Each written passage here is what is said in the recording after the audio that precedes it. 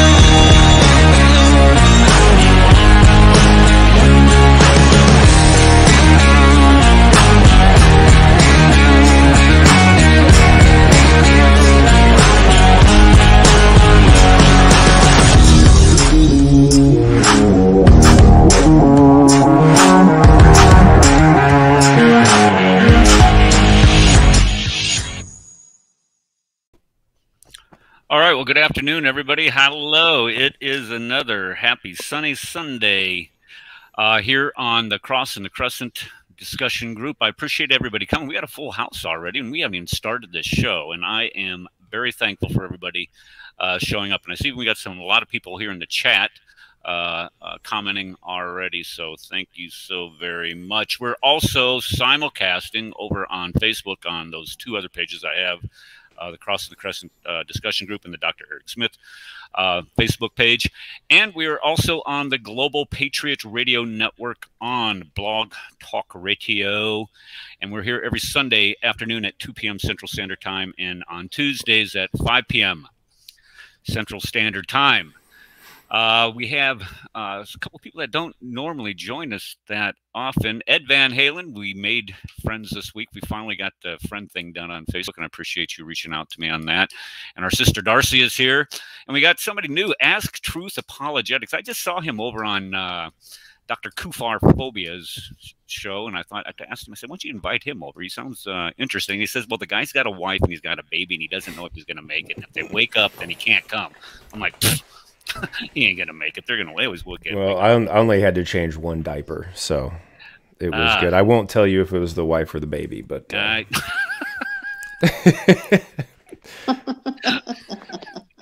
I'm not even gonna go there. that is funny though. I'll leave it to your imagination. Okay, well, uh, that's something that I just can't get rid of now. Um, mm-hmm. Let's um, let's move on to the topic at hand then, and uh, we'll probably do a lot better.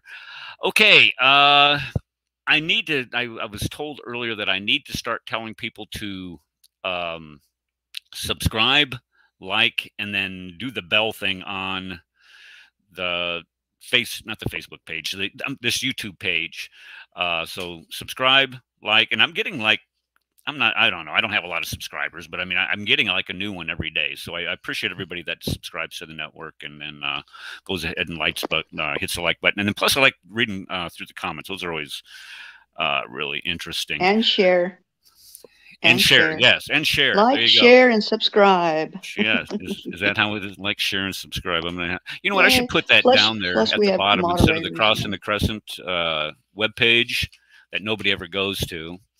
Um, maybe I should put, like, share, and subscribe down there and see how that works out.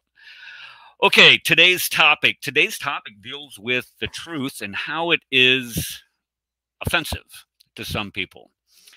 Um, and the reason why I say that is because when we talk about the truth about Islam, when we talk about the truth about Muhammad, we talk about the truth about the Quran, that offends people when we don't focus on some of the the beautiful things of Islam, the beautiful things of the Quran, the beautiful things that Muhammad said or did, and we only focus in on the negative.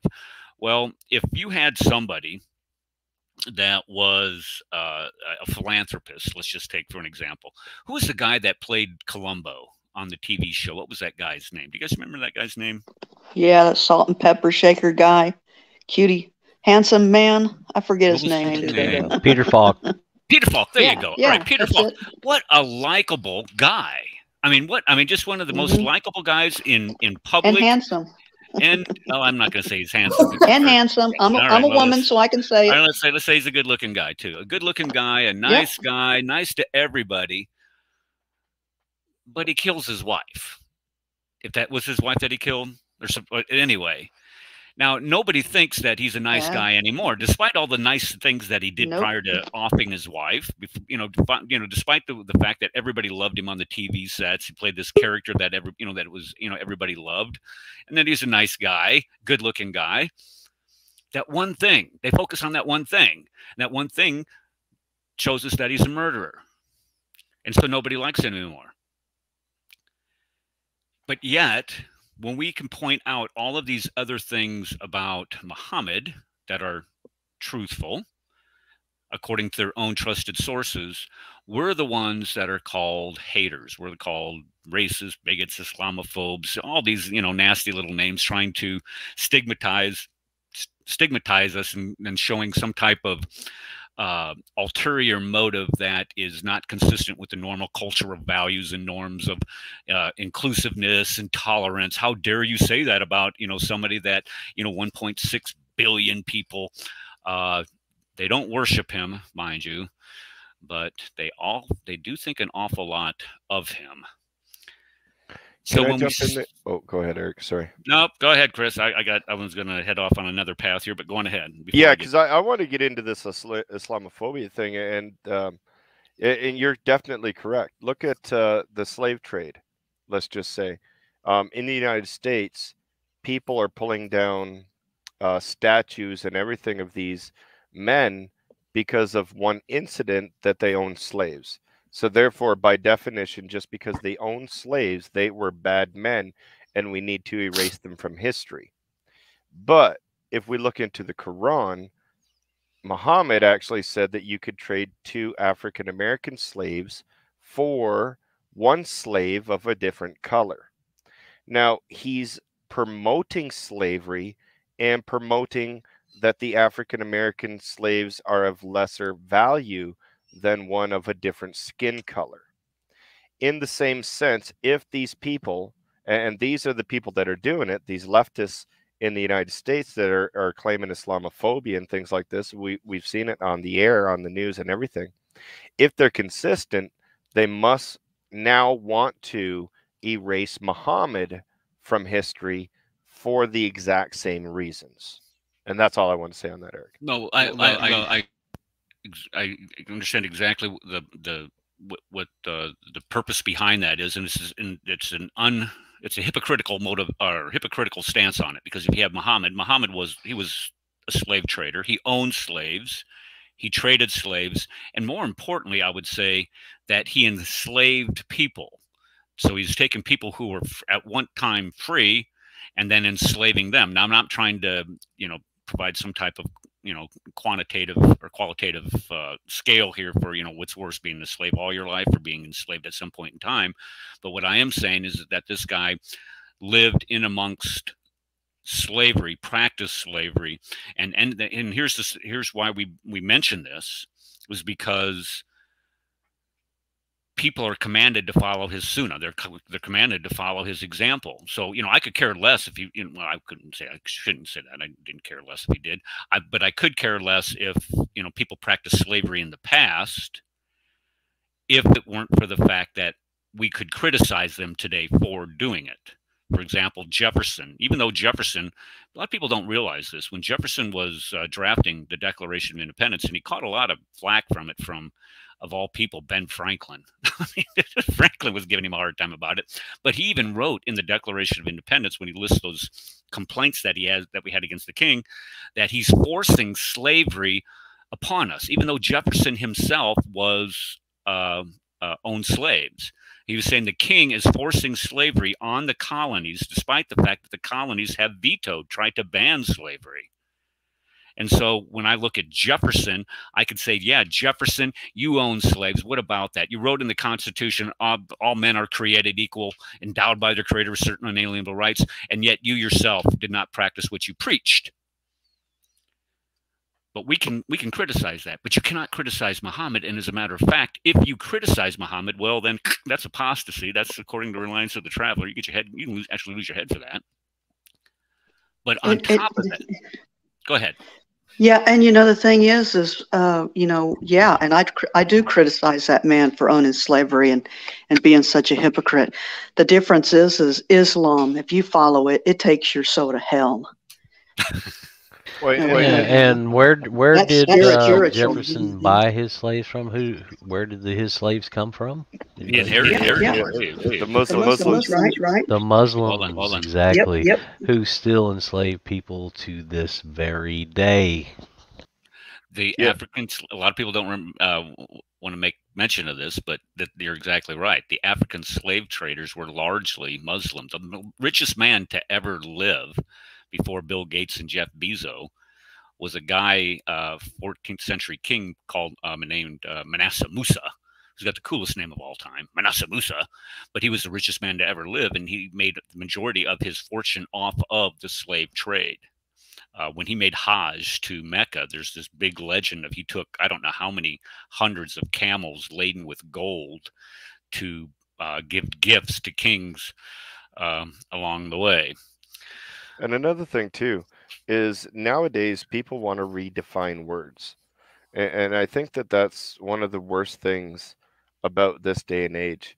And I can go right from the leftists right to the Muslims. Like when you when you speak about somebody being a good person, how do you define good person? Right? Like the Germans during the time of Hitler would have said that Hitler was a good person right? The ones that were were with him.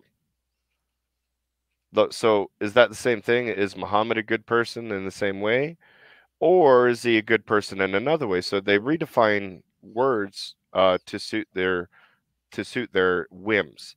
Also, um, yasaluna. We all know that the word in Arabic yasaluna would mean pray.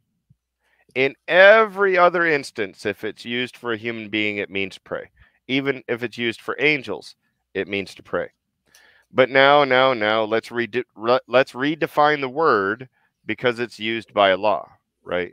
So, but all of this, what we're doing today, even though we're criticizing an ideology, even though we're criticizing the Quran by nature, we are now, as they would say, we're being Islamophobic, which is a, another redefinition of the word because truly Islamophobia isn't something that exists anyways.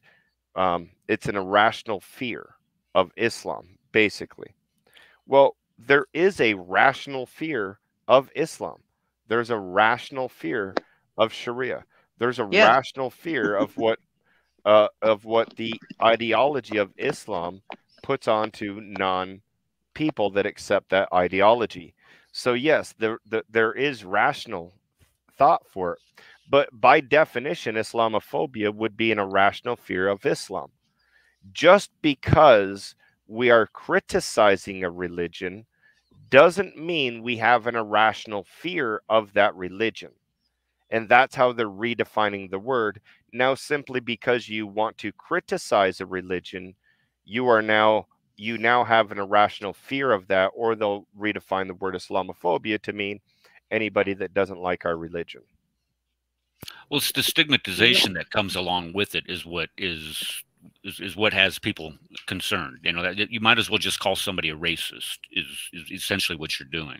Because if you're saying that somebody has an irrational fear, and it started with homophobia, I mean, let's just be honest about it. It started about, oh, he criticize homosexuality despite all the things it does to people's lifestyle. You must have some type of irrational fear of homosexuals. And you don't, but you're just pointing out that it is, is not a natural lifestyle it's just not something that people should be engaging in. And the same thing here is with Islam. You should not be so sensitive and be so full of butthurt anytime that somebody mentions the fact that Muhammad, when he was 54, slept with little Aisha. You should not be so upset when it, according to your own sources anyway, your own hadith, was an enslaver. You should not be so upset when we make mention of the fact that Muhammad had people killed for daring to criticize him. That, but yet, when you do, a murderer. The, right, it, exactly right. And that, but the thing is, is that you're the one that is stigmatized. You are the one that is given that label, that that that label that is essentially saying that you are a racist for daring uh, to criticize our religion. So, what I want to do today, what I want to do today is I just want to uh, give you kind of an illustration of some of the, the, the abject horrific things that we find not only in the Quran, but also in the life of Muhammad that causes people to say, now, wait a second, there's no way in Hades that the Quran can be true. There's no way in Hades that Muhammad could be a prophet. I just want to go through a laundry list here with you. And then. Uh, can I add people... something, Eric? Can I add something, John, here? Yes, go ahead, John. Yeah. Uh, I would like to ask a question. Uh, can a bad person do something good? Yes we see many bad people can like love their families, love their uh, sons, kids, and take care of uh, other people, but they are doing a lot of bad things. Then, as a whole, he is a bad person.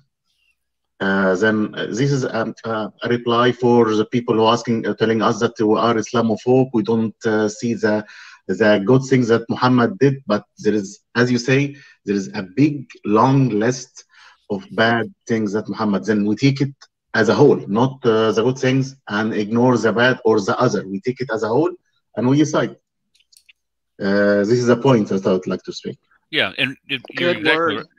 yeah, you're exactly right, John. When people, um, you know, just because they do a hundred good things, if you're a murderer, that still makes you a murderer.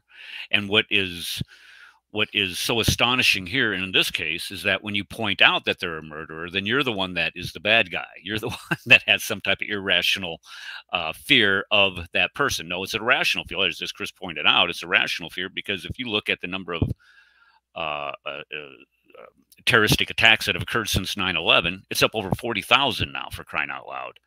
So there is kind of this common ideology that leads leads to violence, that leads to people trying to implement and apply uh, the Sharia, which we've talked about several times on this show, and how uh, antithetical it is here to Western civilization. Uh, but when we when we when you point it out, as I said, you should not be calling people names or telling them that they have some type of psychological disorder, some type of phobia, for having a, a, rational fear of some of the things that happen within that uh, within that religion. And one of the things that, that I wanted to, to, focus on today is that when the truth is said, and this is the key thing, when the truth, when somebody says the truth and you are offended by the truth, then there perhaps is a problem with your with your thinking, with your ideology. And here's here's a great example. I remember a number of years ago, uh, I was reading uh, I think it was Dan Wall, one of Dan Wall's. And in it, he mentions the fact, maybe it's James White, doesn't matter. They mentioned the fact that the, the, the story of the lady caught in adultery is not in the earliest manuscripts. That the story of uh, John in chapter seven through eight, where it's it's the most one of the most beautiful stories in in all of the New Testament in the Bible itself uh, where this woman she's caught in adultery and jesus says look hey yo you guys want to stone her? Go ahead and have at it. But you first thing you have to do is that you have to make sure that you are without sin. And we look at that and think oh my god that is such a beautiful application of the mosaic law. What are we doing trying to stone other people for their, their sins when we we self, ourselves are so sinful? Uh-huh but it's not in the earliest sources. It's not in those earliest manuscripts. It looks like this has been an insertion, a redaction into the Gospel of John. Right. Uh, somebody even said that was over in the Gospel of Luke at one time, if I'm not mistaken. And I'm thinking, you mean this is just something that was thrown in the Bible? And that offended me to my core. I'm like, what are you talking about? This is, you can't do. Th-. And I felt anger over that. But then I started thinking about it what does that have to do with my uh, eternal salvation? What does that have to do with Jesus Christ? Does that change any of my core beliefs? Does that no, it doesn't. Does it impact any of the core teachings of the church? no, it doesn't. You're right, it doesn't. Nothing. Mm-hmm. but then you start looking at it, and you know you can see that Papias makes mention of this, and Papias knew John. So maybe somebody got a hold of one of Papias's writings and inserted it there. Who knows what happened with it? But it's still a good story. But it, I was offended by the truth but I was able to evaluate it. And I didn't call up Jimmy White and say, "Hey, yo, I'm coming to your house. I'm going to burn. I'm going to, you know, I'm going to bust down your door. I'm going to kill your dog. I'm going to burn it to the ground." I, do, I wouldn't do that at all. But that's kind of what they want to do to people who point out these things about Muhammad. So let's take a look at some of these uh, things that we find in the Quran uh, that are very problematic. Okay. Uh, let's start with um, what Jesus said about truly, truly I say to before Abraham I was. Now that made the Jews very upset. It was offensive to them. How dare you equate yourself with God? And what did they try to do right after that? They tried to stone him right after that. Whoops, laser pointer. There we are. Sorry. And they, so they tried to throw. He said, um, "I am." He said, "I right. am." Okay, you said I, I was. Right. So I'll just oh. correct you. Sorry. Oh, did I say I was? Yes, sir. Sorry about that. Okay, kind of, okay. That is offensive. Get it right, Catherine. Yeah, right. God, that's yeah, right. Yeah. yeah. So, but this was very offensive to them. So they went to pick up stones. Why? Because he was claiming to be God. And so when you hear this often made claim, where does Jesus say, I am God, worship me? Well, he says that he's God basically right here in John 8 58. Okay, so if you want to look at the truth, you look at um, a little a philosophical uh, idiom here is called Occam's razor, and that one any idea where one of the ideas, I'm sorry, uh, uh, when any of the ideas uh, requires the least speculation is usually better. So when we think about what we find in the Quran, what we think when we think about what uh, when we think about the stories, what what makes better sense when we think about those stories that are inserted in the Quran. And I'm going to go through a laundry list of them here. I'm not going to take a lot, lot of time. What what is what, what what makes better sense that Muhammad is receiving this revelation from God, and this revelation is through the angel Gabriel, and now he's a prophet outside of all the prophets of Israel ever to come before. He's preaching a message that is antithetical to the, to the Bible. He's contradicting the Bible everywhere you possibly can and this is supposed to be the truth because the Bible has been so corrupted, the same Bible that existed at the time that he lived as we have today, or he was hearing these stories around the campfires from other people, and then he was trying to pay, pass them off as his own divine revelation. What makes better sense? Well, Occam's razor, yeah, Occam's razor says it's the latter. He heard these things, mm-hmm. passed himself on as a prophet, contradicts, and even got the stories wrong for crying out loud. So let's take a look at a couple of these. Yeah, it even goes as far as to confirm the Bible over and over and over again. Yeah, how does he do that if he's contradicting mm-hmm. it? How can you confirm something that you contradict? That'd be yeah. a great question for somebody to answer that. Uh, yeah, and one imam says, "Where is that in the Quran? Where?" And it's everywhere. What? It's in so many places. Where's what? Yeah, yeah. Uh, where is where the Quran confirms the Bible? Right. Yeah. Yes, uh, I think it's chapter 61, I believe it's many places. Yeah. yeah at, at, least, at least a handful. They try to split hairs and they try to say the Bible or the Torah and the gospel. See, this is where it gets stupid. Okay. They try to split the hairs with it and say, "Oh, well, it just says Torah and gospel." Well, excuse me. The the gospel is based on the Torah and everything before it. Yep, yep. Well, yeah, even, well, with, even with the with with the Torah, I mean, or I'm sorry, the gospel, he contradicts the gospel. The gospel clearly states that Jesus Christ died on a cross. And when you look at 4157, 4157 says that he did not. So which one is true? Who do we believe? believe? Exactly. Okay, so you know, and here's the, here's the crazy part. People even at that time knew that he was making it up. They were, they called it the Tales of the Ancients. So you got in 625. These are not uh, else the tales of fables of men of old. That's one time. Uh, how about two times? Lo, this not be fables of men of old. Chapter eight. Uh, chapter 68, mere fables of men of old. Is this and, a book, Eric? No, this is straight out of the Quran. Uh, okay, or the the you've got the picture, the tales, the fairy oh, tales. That's, is that a, a book? I don't know what that is. That's it's just a picture. Okay, I got yeah. it. Thank you. And, and, uh, and, I was and I was and as I was mentioning earlier, uh, like in as in verse six twenty five, there are um, several non Arabic words of Greek Syriac origin in that verse. Yeah, yeah, yeah. If it's supposed to be a book written in pure Arabic, why do you find non-Arabic. Well, Injil itself is not uh, an Arabic word either. It's uh, it's a Greek word, if I'm not mistaken. It's Greek origins. Okay, so these are Tales of Ancients. Um, the book, I'm not sure where the book originates from. You might want to go onto Amazon to see if see if that this quest for or quest of the ancients fairy tales. I don't know. Maybe the uh, I don't know if that's an actual book or not. But anyway, you see a pattern here where he's accused of this time and time and time again, saying that you were just, you know, just repeating these old these old stories that everybody knows that they're nothing more than stories. Because when we look at these uh, extra Quranic stories that are, are these stories that are um, out from that come from outside of the Quran, that predate the Quran, how can they be revelations from God if they have already pre-existed on other uh, in other manuscripts or any other scripts or any uh, uh, well books that pre, pre predate Islam. How can that be? It has anachronisms in, and we're just going to go through the short list of anachronisms because it's just there's just so many, and has historical inaccuracies, and plus, you know, Muhammad received all kinds of convenient revelations that anybody that cannot recognize that these are revelations of convenience really is coming at it from an unobjective um, point of view. All right, so you have Syriac folklore, you have stories from the Jewish Talmud and Midrash, you have Gnostic and, and uh, apocryphal sources, and among other sources. A great source for this is, uh, let me see here, where did it go? I just had it. A great source for the, oh yeah, it's just here. This, this right here, the original sources of the Quran. This is a great book. If you want to get this, it's a, a William. By who? Uh, William St. Clair Tisdall. I don't know if you could read that on there.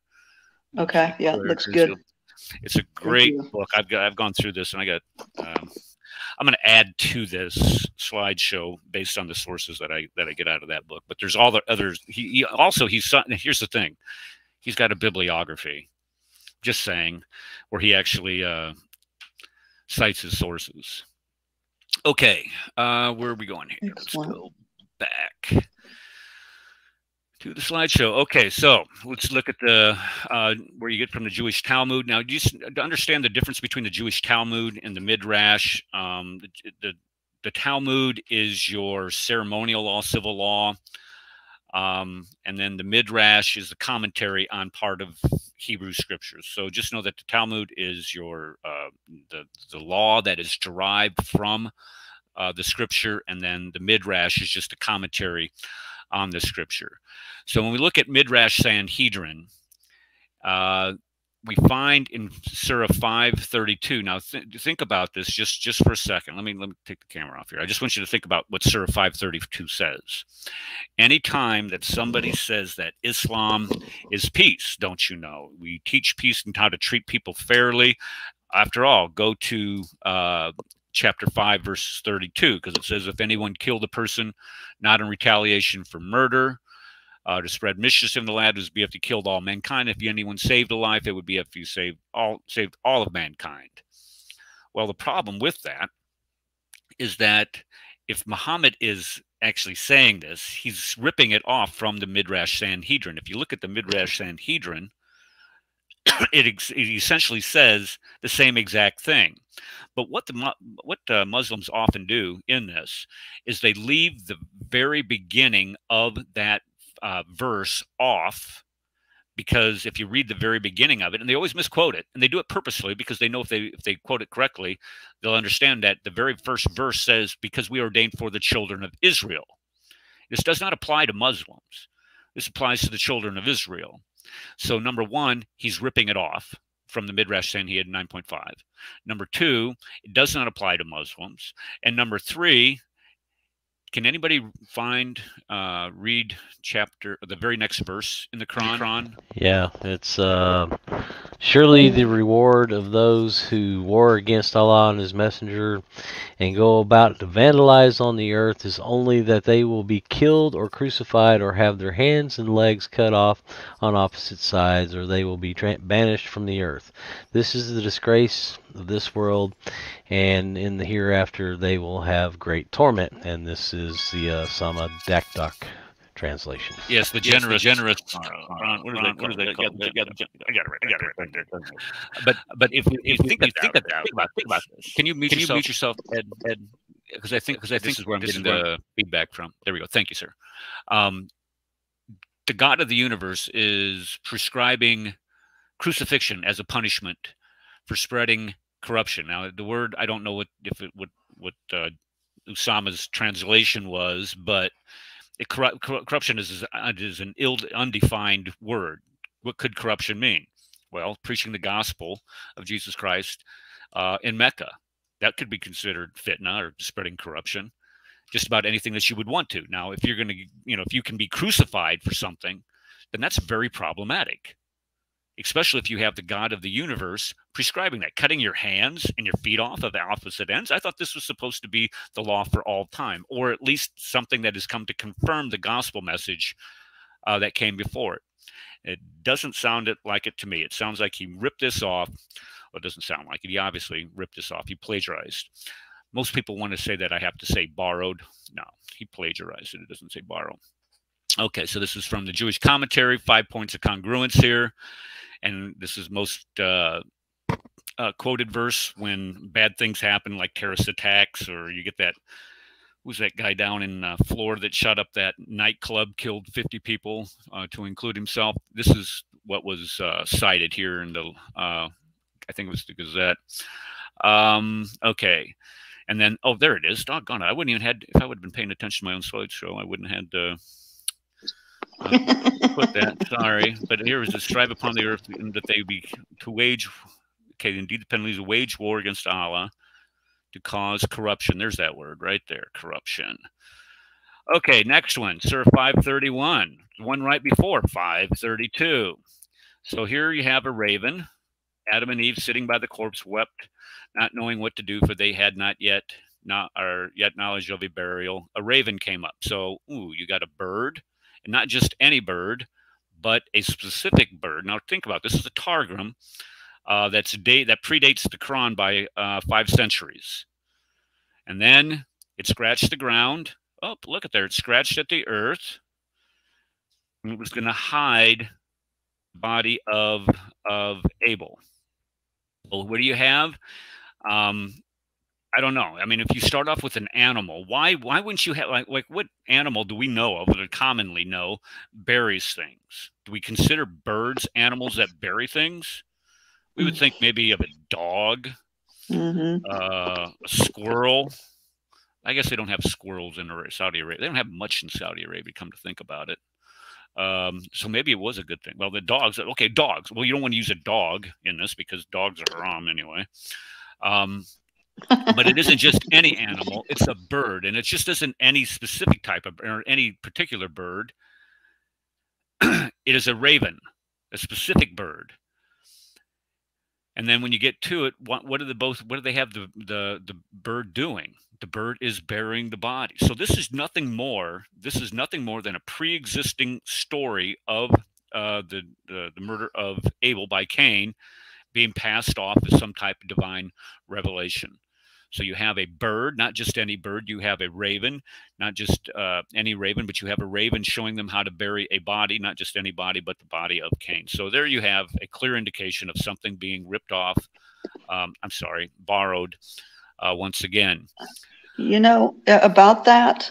You know, it's it makes me think that whoever wrote the Quran on this were really insulting the the intelligence of the Arabs in that era, in that land.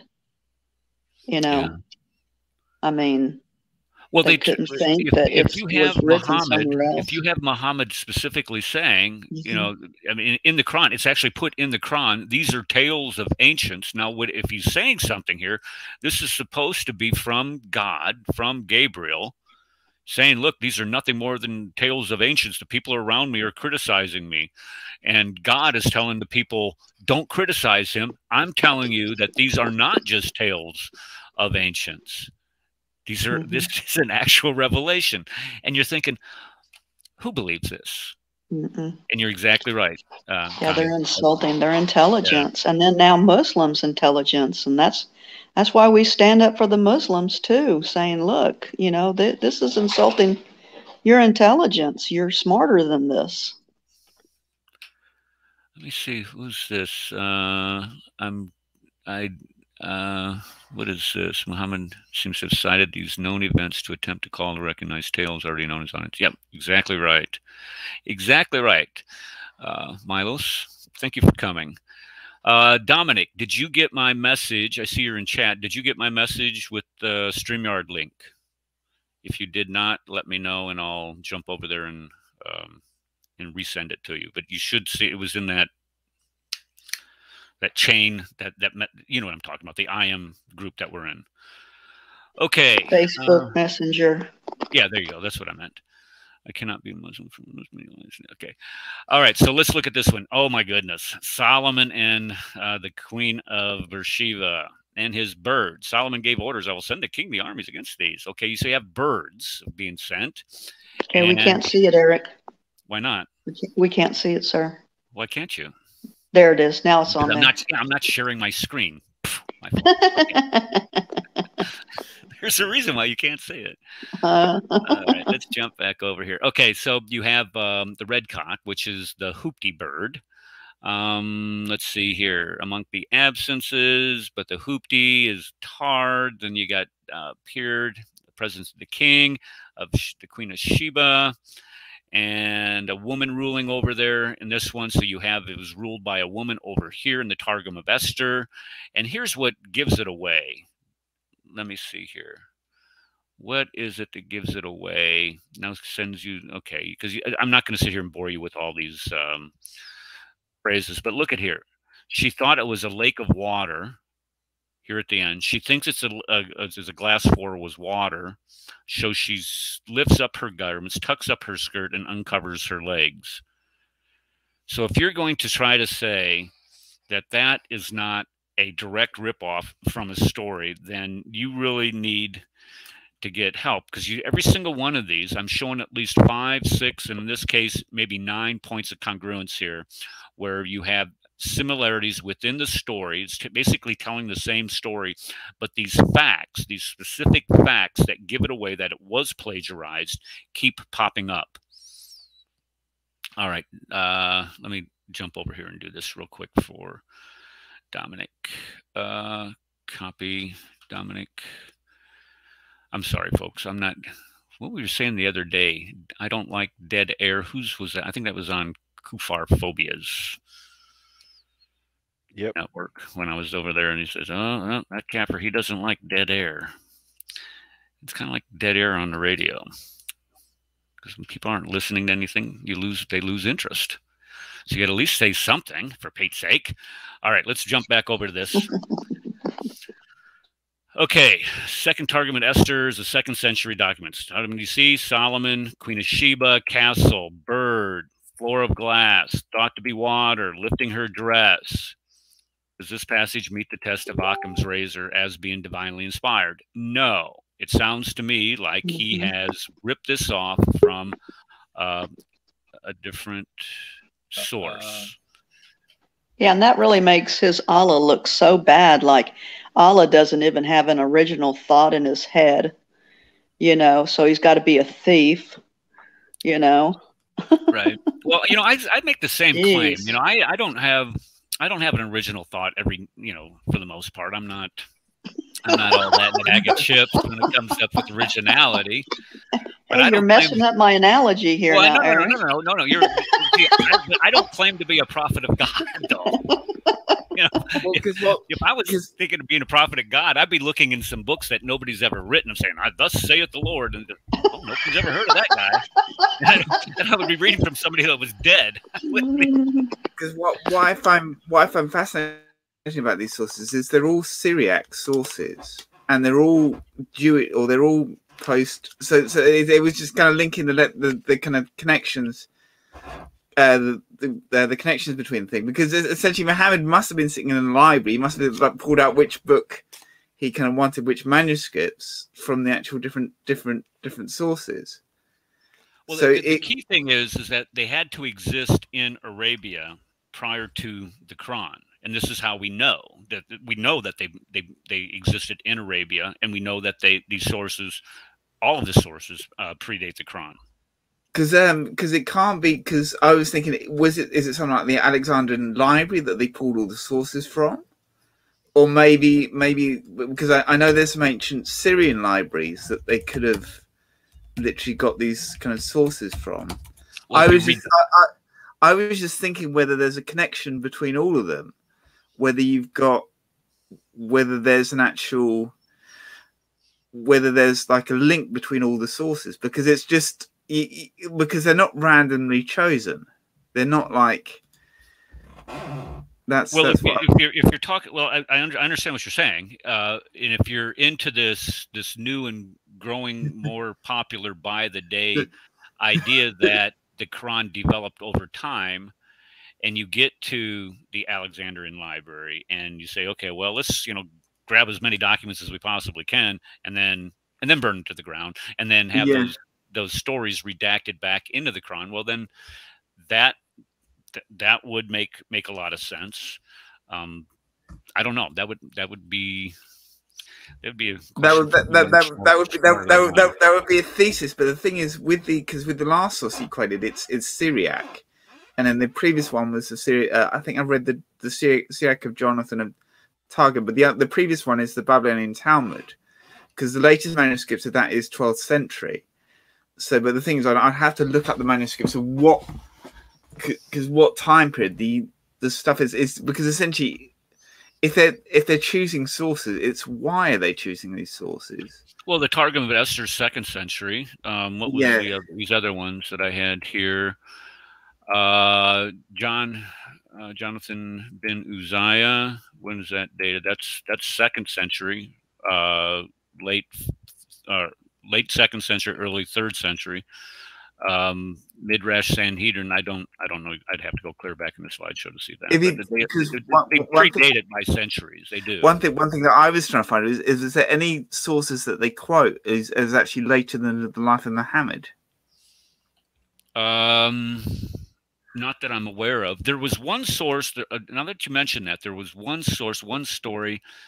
I can't remember what it uh, what it was off the top of my head, but it is credited with being the middle seventh century or the beginning to the middle seventh century. Yeah. So it could have been the argument goes, the Islamic apologetic goes, well, they, this story is derived. We know Muhammad existed. We know the Quran was being published at the time. Why? Because this story was borrowed from the Quran. But there's a time span for the development of this story, and I can't remember. Um, I can't remember which one it was. I'd have to. I'd have to look, but I, I understand what you're trying to say. What, what, you're saying here. Do we find stories in the Quran or in the Quran that were developed or uh, dated after the Quran? And yeah, I don't. I don't know if that's true. I don't know. Maybe somebody that uh, is a wizard or smart in the chat or in the, yeah and why would anybody want to do that it's absurd thinking right it's stupidity yeah because because because mm-hmm. the thing is mm-hmm. I, i'm because I'm, I'm just thinking of canonization because with the bible you can fairly date okay with the with the bible you know that everything was written before or other than the book of revelation you know everything was roughly written before 70 ad but with the because most of the manuscripts like uh, the bible manuscripts of such as in the chester beatty library and things like that they're actually together. So you have the manuscripts of paul and you have the manuscripts of the new testament there that they tend to be together. So but the thing is with with the quran there's no actual official canonization. So there's no there's no like it, it's almost like a, a, a mishmash of a, a mishmash of an anthology that was just it, it, it just doesn't make sense. Like the like the way that it was compiled, because some people it was like Nestorian things, but it's just mm. very weird sources. It's very weird source. Like the, the story of Queen, like the one that you would just brought up now, the story of Queen Shiva. It's like such an absurd, such an absurd kind of story. It's like, uh, yeah. Sorry. And, well, it's divine revelation, don't you see? And don't yeah. you dare doubt it, because if you do doubt it, then you're an Islamophobe, and that's kind of the point we're making here. We're pointing out these truths, and if they're offensive, then you need to figure out. You need to get a different apologetic to defend. We had Asana on here. I don't know if you guys remember Asana, and Asana was saying no, that those phrases were only uh, uh, targeted at those people who were um, criticizing Muhammad's interpretation of Scripture and they had nothing to do with Syriac folklore, Midrash, Talmud, uh, things of that nature. Now, Ask Truth, because because the latest because because the, the earliest manuscript of the Talmud dates from the 12th century. So the earliest manuscript of that dates from that. I think it's 12th century kind of things like that. But it's it, it's hard to find because with the Talmud, you have uh, different time periods. So you have there's different authors for different things. So you can date the Talmud by by different writers. So you mm-hmm. have Rabbi Rabbi Akiva, who's kind of first of all. Then you have some other writers who are kind of later on. So that, that that's what I, I I've been wanting to work out is like which writers kind of dated the actual Talmudic references because if if, if the Tableau is if the Babylonian Talmud is all the way over a thing, and then you've got the Syriac Targum, how on earth did they mm-hmm. get together? I mean, I mean, how on earth were they compiled in in that in that thing? So you've you've got sources that that well, like how, were, are you asking how were, how were they compiled and then that resulted them in gaining getting into the Quran? Is that what you're saying? Yeah, because you've got like I mean, so say if say if the say if the Quran is written in say in say I can't remember which which are in Babylon. Right. So, well, so, so, yeah, so, so you've got the Talmud that's that's the, the, they use the Talmudic source in, in, in Babylon, and then they use say the Syriac sources from a, from another area. Somehow that they've got to compile these two together to actually mm. get the get the thing. So you've got a problem with the actual sort. So because when they were talking about the hadiths, like when they were saying, okay, the hadiths, the writers are here, here, here, and here. Mm-hmm. You almost got the same problem with the different sources in the actual thing that someone would actually have to compile them to actually together. I don't I don't know where they would have gotten it from. I I have no idea. And let's not forget that the Quran uh, was abrogated more than it was added to. Yeah, right? yeah. yes. Well, I'm not even touching on the rule of abrogation today. That that that didn't even make the slideshow, but that's you're absolutely right, Ed. I mean, and, just... and, it and it also makes the Quran uh, to be a lot older than what they claim it to be. Yeah, we talked about that last because week. Because of what it has the, in it, yes. Because yeah, of those stories about, that you're yeah, showing. We talked about the Quran that predates the Quran from the third century. Yeah, four, yes, yeah, 438 or whatever it is. Yeah, yeah 500. Okay, what do you mean by this uh, Alexander romance? Um, what do you mean by that? Which one? Which story is that? Uh, well, the Alexander, like Dul Dul Qarnayn. Um, Oh yeah. So yeah, yeah. we were we were asking the questions about um, if anything was written after the Quran. Um, and as I was thinking, it, has been a minute since I've looked into it, um, but I, I, believe that the the Alexander Romance version of uh, like Dhul Qarnayn that matches up with the Quran is actually a later. Mm-hmm it, it, appears after the Quran. So someone basically wrote it in Arabic, the Alexander Romance, and changed it to align more with the Quran. Now, which which are you talking about? And are you talking about where they build this big wall, where he finds the sun setting in the muddy pool, or what? Um, the exact details I'm not sure. Like I said, it's been a long time since I've looked into it. Um, I believe yes, the wall, Gog and Magog, uh, his quest for uh, the water of life, etc., etc. Um, those things seem to appear in the Alexander Romance post uh, the Quran, and I don't believe that they're pre-Quranic. Okay. Yeah. Yeah, and what we see today actually is more along the 9th and 10th century. Uh, it's not go. the 7th and 8th. So, really, this is the addition. It, what we have today is not what they had back then. And Jay Smith spends a lot of time talking about it, him and Al Fadi.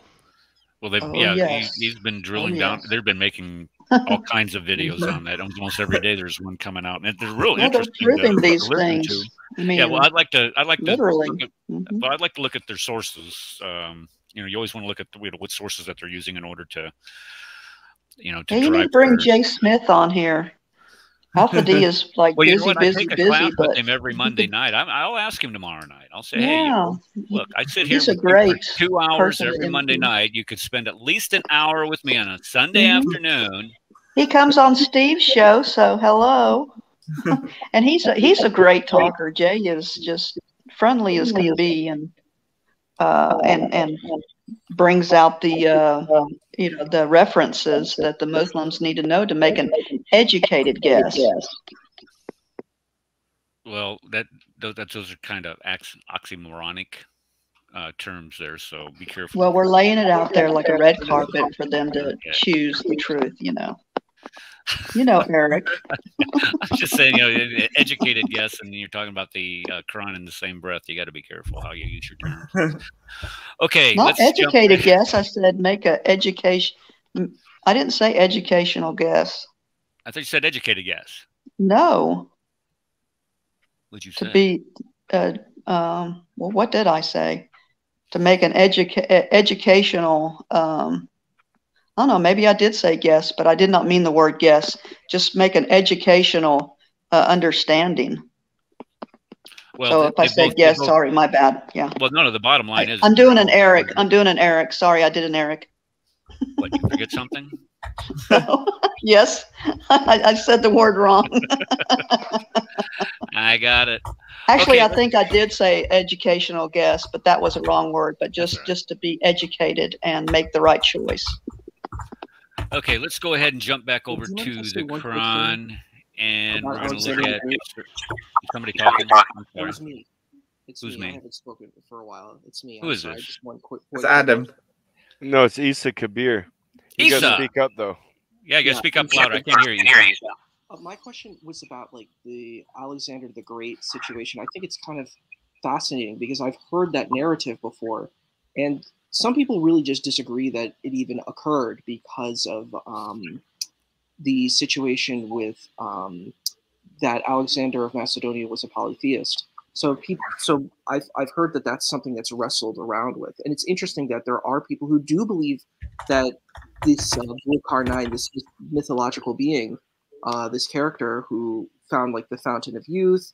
Some even said that he may have traveled with Khidr. It's actually really interesting. I haven't heard that story in a long time. I think it was just fascinating to hear that. So just kind of where do people stand on that here in this panel? Is do people think that Zulkarnain, according to the text, would be referring to Alexander the Great, or is it some other character? Some people said Cyrus, or is it you know just mythological being like I believe most of the tafsir, if, if and I- I'm willing to be wrong on that, but um, uh, I'm I'm thinking most of the tafsir attribute that to that characterization as Alexander the Great. Um, you know, and- Yes. and, to say that Alexander the Great was a monotheist is probably the silliest assertion that somebody could make. Um, Mhm. yeah. Okay. Uh, Because- we're Can I add back- something here? Can I add something about uh, the, the person who was here? Is if it's Alexander the Great or someone else? Yeah, go ahead. Because yeah, Quran says that this guy is a good guy in front of Allah, in, in the eyes of Allah, and uh, we know that Alexander the Great was pagan and Cyrus was uh, uh, also pagan. Okay, then which one uh, is mentioned in Quran? No one knows. This is why we can see in the tafsir many ideas, a lot. No, there, there is a lot of idea from all Muslim scholars about this guy, and no one knows till now. So Allah wasn't clear, huh? Yeah, all all his big Quran. Surah is called Surah Al Kahf. Clear Quran, right? Yeah. The Surah Al Surah Al Kahf, Surah 18. It uh, Mhm. it happened um, a reason of revelation. Like the Jews ask uh, Muhammad three questions, and he answered uh, this surah, this whole surah, after 14 days from the questions. Although he said that he second day he will answer, but there is no answer. Really, if you read the, the surah, there is no single answer for these three questions at all. Okay. Wow. All right. Well, thank you for that, John. You're see, this is what I love about having you know all you guys on the panel. I mean, y'all bring all these facts together, and it makes us all feel smart. Because one of the one of the most interesting things has been has it been well, we want the Muslims to be smart. That's the thing is we're trying to bring information to them for them right. to choose the truth and be honest about Islam. Because one of the, one of the most interesting things was recently was that the uh, I think it was Speaker's Corner finding out that the Muslims were actually going to tombs to worship at, at like Muhammad's tombs and like like like like idolatry was it was only ruled out in the 18th, 19th century. And like previously, before in like the 14th century, they were all actually they were all actually um, uh, actually having um, wor- worshipping idols. Like before that time period, it's, it's only recently that they've actually stopped.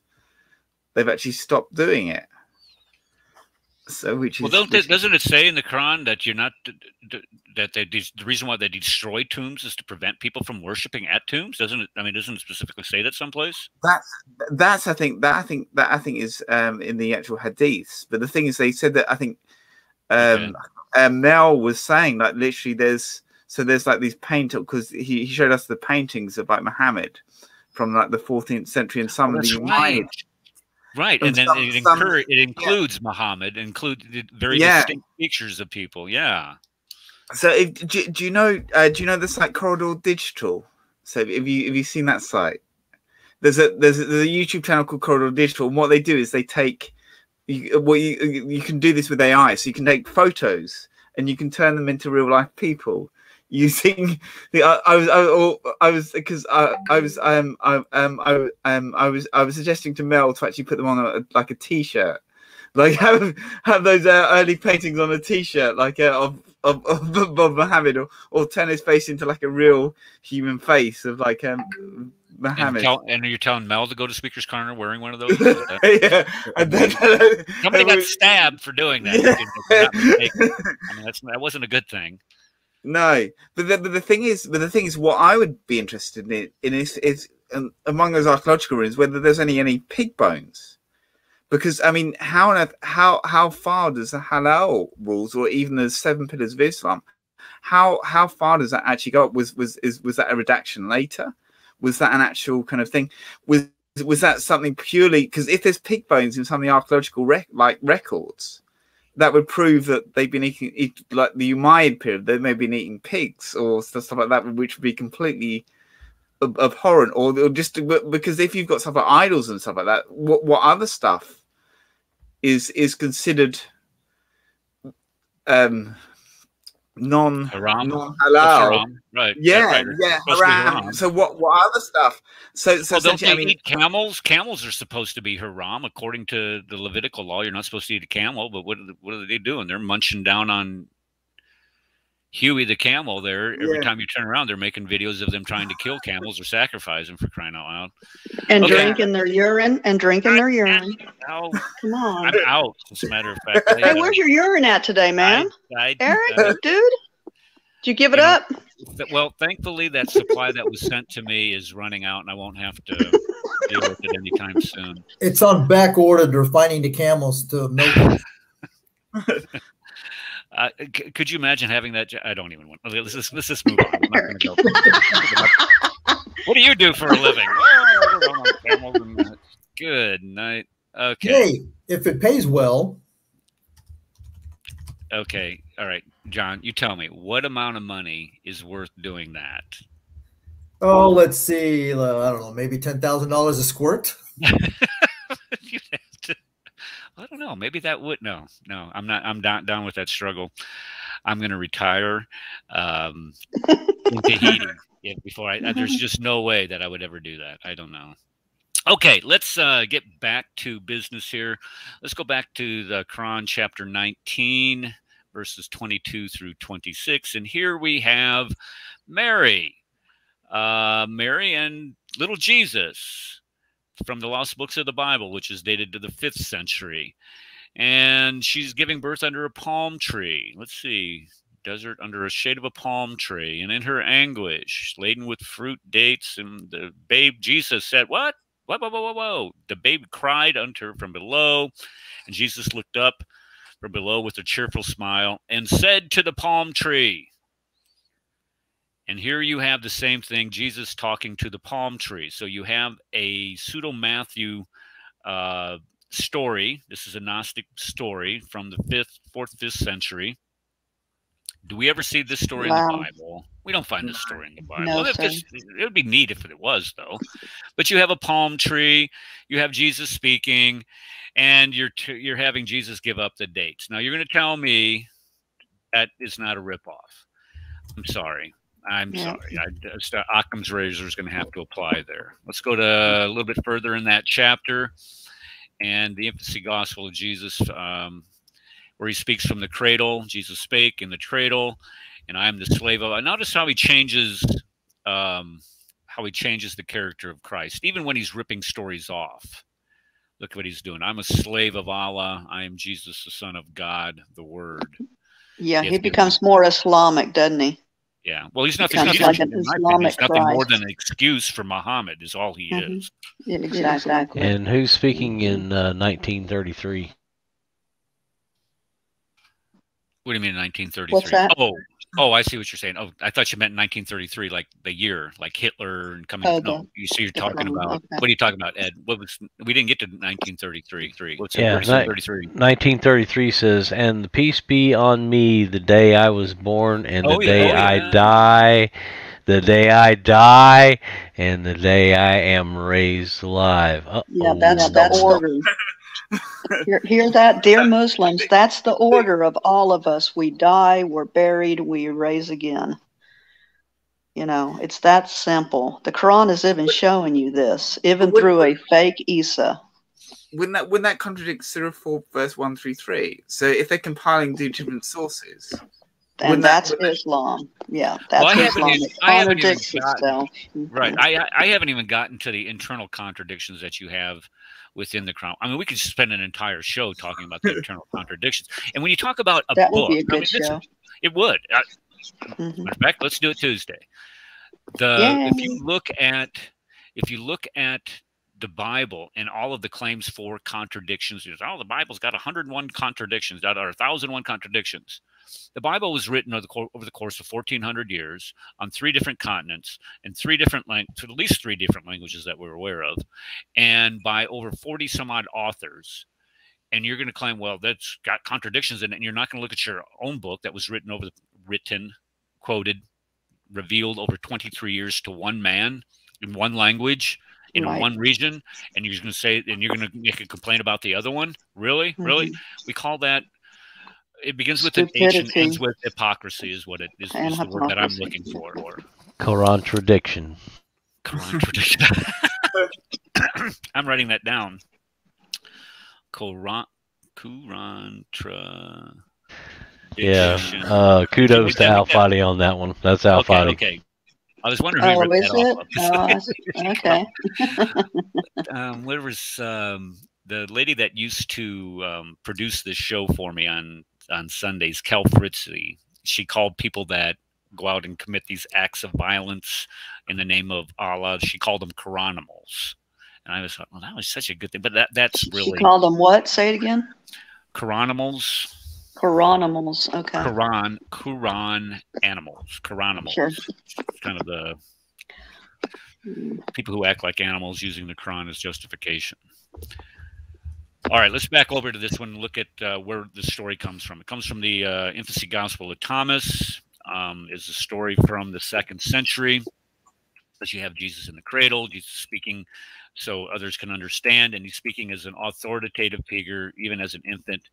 And there's nothing like it. Don't you think that this would have been made a, a somebody uh, would have made mention of that before? I'm, I'm I'm serious. That is just I don't know. It's sad. Okay, and let's see here. Well, they're There's... just turning a blind eye to Islam and Islamists these days. you know, for fear of being called names, for fear of sh- being shamed, you know. Yeah, But yeah. we're speaking it so that the Muslims will know the truth and they'll, you know, they'll come to Christ and he'll set them free. Yeah, I was, I Fill was their gonna have, faces gonna have with Chris- shame. Go ahead. I'm sorry. Fill their faces with shame that they may seek thy face, O Lord. Amen. Amen. I have uh, I have all kinds of other ones that uh, we could cover, but uh, you know, I, it- we don't- we don't have enough time. So let's just uh, jump right over to the an- anachronisms. Well, actually, let me do this. Let's. I want to jump over because we've covered the anachronisms uh, fairly thoroughly on um, on the Tuesday show. Uh, so let me jump Can you give the definition of that word for other people? An anachronism. Anachronisms. hmm yes. Yeah. Okay. The, when we say the Quran is anachronistic, and it contains anachronisms, what that means is is that you are taking a an event, uh, an object, a custom, or something, and placing that in a time period in which it does not belong. And the, the, the easiest way to remember this is that, you know, if I sat there and told the story of the pilgrims coming to the Americas um, and talked about how they were persecuted and how they had to get on two ships to start off with the Speedwell and the Mayflower.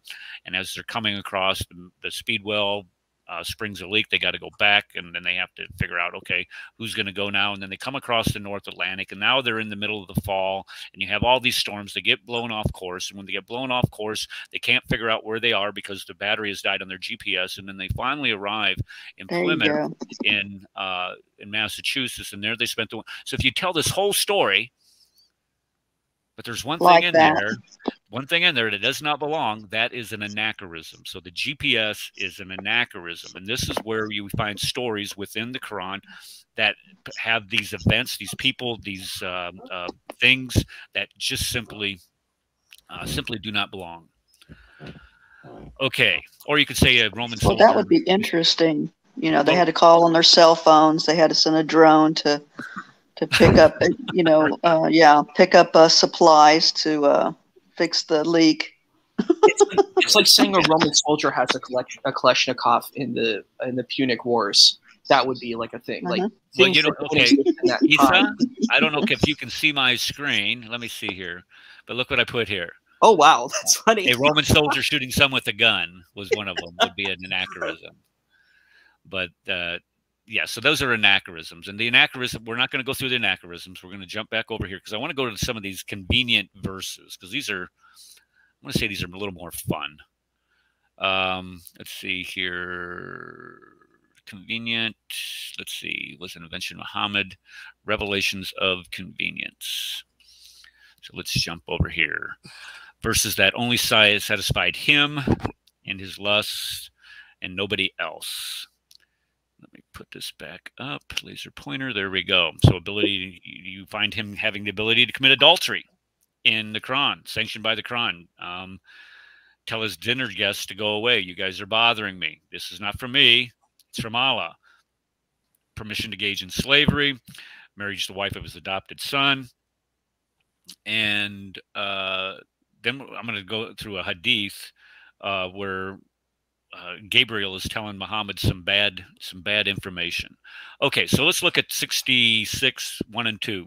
Why bannest thou uh, that which Allah hath made lawful for thee, seeking to please thy wives? And Allah is forgiving, merciful. Allah hath made lawful for you absolution from your oaths of such kind, and Allah is your protector. He is the knower, the wives, the wise.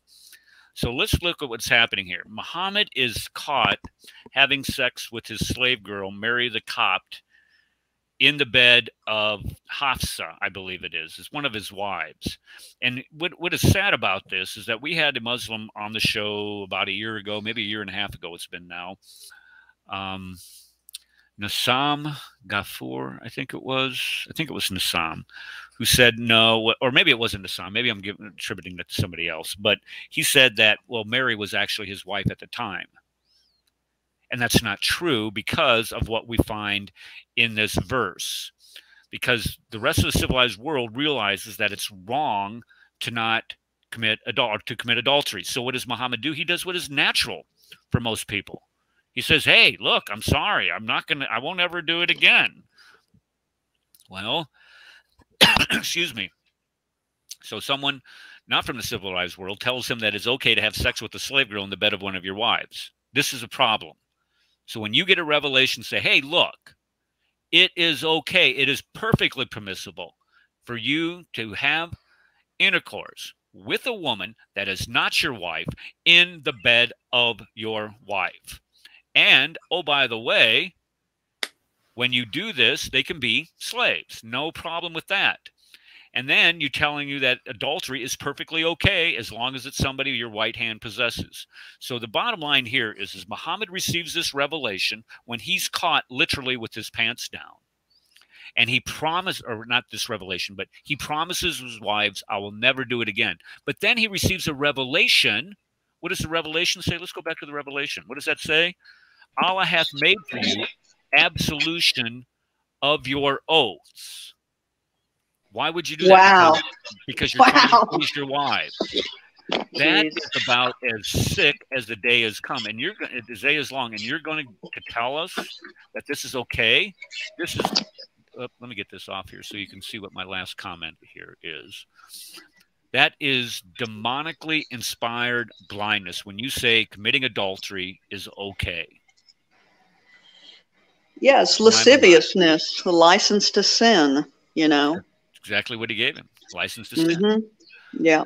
And, you know, Christ and, uh, you know, the Holy Spirit through Paul warned us of this, you know, even has that word. So what, what does uh, the devil do? Yeah, I'll take this word and I'll make sure that I'm going to pervert all these Arabs in my, in this area. And You that's know. exactly what he does. Yeah. It's so sad. You know, I mean, they're, Satan is literally trying to pervert the dear Muslims, you know. I'm sorry, folks. I'm not. Whoop! I heard my voice. Uh, somebody's got me got a window open. Okay, uh, let's go to the next one. This is uh, this is David Wood's fun, fun, funnest one or uh, favorite one. There we go. Oh, you believe? Do not enter the house of the prophet except when permission is given to you for your meal, without waiting its preparation. But then, when you are invited, then enter, and then when you have eaten, then disperse, and not seeking to remain for a conversation. Indeed, that was troubling to the prophet, and he is shy. Notice the prophet is shy of dismissing you. He's shy of saying, Get out. But Allah is not shy of the truth, meaning my God that tells me these things is not shy. He's going to tell you to pack your bags and get out. And look at it. It's not for you that you should trouble the messenger of Allah, and not that you should merit. Look at that. Now, look what he does here. He says, You don't want to trouble the messenger of Allah. You don't want to trouble me, I'm not saying this. This is Allah saying this. So I'm just telling you what Allah is telling you. And then, my wives, you can't marry them. Nobody can marry my wives after I die. Now, how many wives did he have? He had 11 at one time, upward of 13. I think it's like 13, sir. Thir- I don't think they know. I mean, it's somewhere between nine and thirteen, and a whole bunch of concubines. Okay, so if you are the wife, let's say you're little Aisha. Little Aisha's nine years old when he um, Bang, bang. yeah, consummates the marriage with her. Let's be polite about it. Consummates the marriage with her, and then she's 18 when he dies. Now this poor girl, Man, she's at her prime. yeah, she cannot get married for the rest of her natural life. My understanding is she lived into her into her 60s and she could never marry. Why? Because Allah, according to the Quran, says that if she was a wife of the prophet, then or Muhammad, you can't marry her. What kind of bunk is that? Anyway, let's see here. All married are forbidden, forbidden unto you, except those captives who your right hand possesses. So if you are a wife of Muhammad or a the wife of uh, a Muslim and you have a sex slave, then you're perfectly to do what you want with that sex slave. And that is according to the God of the universe. As long as she's a slave, you can do whatever you want to to her. Now, if you look at the slave trade, and we were talking about that at the beginning of the show, is when we talk about the transatlantic slave trade, where you have the Europeans um, shipping are going to Africa, trading uh, trading for slaves in Africa and then bringing them to the Americas. Two out of every three of those slaves were men that they brought across the Atlantic, and the reason why is because they would have them engage in uh, manual labor. And it, let's, uh, you know, I'm not trying to sugarcoat that at all. I'm saying it was brutal. A lot of those plantations, especially down the Caribbean, your life expectancy was about two years, and you would you were literally worked to death. So two out of every three slaves coming west was a man, and you had a grand total of maybe 12, 12 million people coming across the uh, the, the Atlantic the in the transatlantic lab, uh, slave trade. But if you look at the uh, trans-Sahara s- slave trade going east, upwards of 29 million people involved in this, and the two out of every three of those slaves were women going east. And what was the purpose of sending the women east? Is to serve in these harems, to serve as sex slaves for uh, these sultans. So when we start thinking about the slave trade and how you know actual you know, how evil it it truly was, when you look at the numbers themselves, the numbers themselves tell you how evil uh, how evil it was. And a lot of those people that were going eastward in the in, in the slave trade, the majority of them died. 10 15% i'm not trying to minimize it don't don't get me wrong but 10 15% of the slaves coming or 5 to 10% i'm sorry 5 to 10% of the slaves coming east uh, or west to the uh, to the americas died on that what they call the middle passage. Upwards of 90% of these people that were sent eastward died along the way. The men they weren't just castrated. They had their entire many of them had their entire genitalia removed. So just castrating themselves that castration in of itself wasn't bad enough. They would cut the and many of them died from that. So it was just brutal and then when you start saying that well your right hand possesses um, you know i'm sorry that's just sick that is not from of or anything that should be attributed uh, to god God, our Creator, Jesus Christ. Amen. Amen. Okay. Uh, this next one, Quran. What is this? Uh, what is this? I don't think I put down the. Oh, let's just put it up here. Okay. And when thou saidest unto them, Allah hath conferred favor, conferred, keep thy wife to yourself. Okay. So here's where he's where he's marrying the wife of his divorce or the divorced wife of his adopted son. And the reason why is because let's go mm-hmm. here. So he says he sees Zaynab half naked. Muhammad gets excited. She hears him, or Zayd, well, she hears him say this, and then Zayd hears about this. Muhammad says, "Ah, keep your wife. What do you and no?" So Zayd divorces her, and notice the words that are used for that. Um, I don't. Is it in that? Yeah, it's gross. Say it, man. Uh, say when had performed necessary formality of divorce for better Zayd had performed. That's not. It says one of the translations says once you're done with her, once you've used her up with Right, your right. yeah your She needs. is- Once you're done with her with your needs. in Arabic, in Arabic, it's uh, لما زيد uh, توف قضى وطن. وطرا قضى Yeah. وطرا منها It's a disgusting thing. Yeah, what does what, that what, mean? what does What does that that mean in mean? English? When he just, he was he was he finished finished with her he was Okay, When you're when he- finished with her, when he, wow. oh, when he, he found no more use for her. I think is how it was translated. Yeah, it's like Okay. a, What's the verse number? like a sex toy like I a don't have toy. it down. That's what I'm kind of. I'm uh, I'm down on myself for this. I made a gross error. I didn't cite the verse number. I feel like a certain imam writing a book where I thirty three fifty. Okay, thirty-three fifty. Okay. Where I don't Or provide my 33. sources. Hey, where's Rad? Where's Rad? Before Red's taking the day off. I think uh, he's Okay. got to he's got to start his new job tomorrow. Oh, okay. Yeah, he's uh, he's excited about. It. He, 3350 he's sending me these pictures of this shotgun that he bought, and I think he's just trying to make me jealous. Is all he's doing.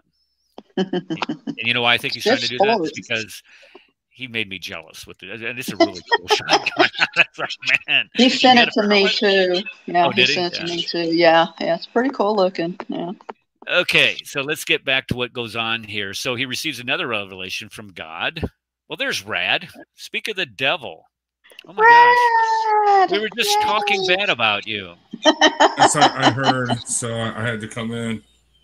Oh, oh, you, oh, you Smack us around a couple Okay. times. Yeah. Yeah, my brother. Okay, so people start talking, and so what is when people start talking, saying, "Look, this is really icky." Muhammad has married the divorced wife of his adopted son. So Muhammad's thinking, well, that's that's true. That's kind of icky. Oh, wait a second. I get another revelation, and the revelation itself abolishes adoption. And when you Man, wow. about- yeah, when That you is start so sad. it is. When you start thinking about what is the Ah. one thing that we do as human beings that makes us, you know, uniquely humane is that when somebody's child die, or I'm sorry, when somebody's parents die and they're a child, we take them in. We give them a life. We raise them as our own. We give them our names. Yeah, And that look is who's part of here. true religion. And that is part of true religion, according to what was it, James or Jude? True religion is, you know, you take care of the widows and the orphans. Sure. And And he just said, you? Nope, you can't do that anymore because I, I gotta work my my penis uh, privileges Well, out here, and right? This is the sad Wow. thing is his, his So own sad. little proclivities, sexual proclivities, his Mhm. desires are are change change. You know, any chance that a child has. I'm Uh, I'm I'm just a little offended Right. that that penis privileges. Next time, could you just say PP? Hey, I can say it bluntly if you want me to next time. I will. Penis privileges. No, I don't change my words. Sorry, Steve. I say it like it is. I, I don't, I don't want to hear about Muhammad's penis anymore. I'm, I'm, bro. That that that protest too much, bro.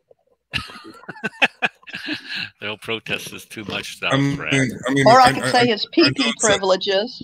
But we, you know, we're three years old now here. I'll say PP privileges, okay? Well, I- I- okay, What I you want- know the letters for penis privilege is okay, here's what I want to I want to get onto this next one because this next one, if there was any one verse in the entire Quran that clearly demonstrates that Muhammad was a false prophet, it's this one right here.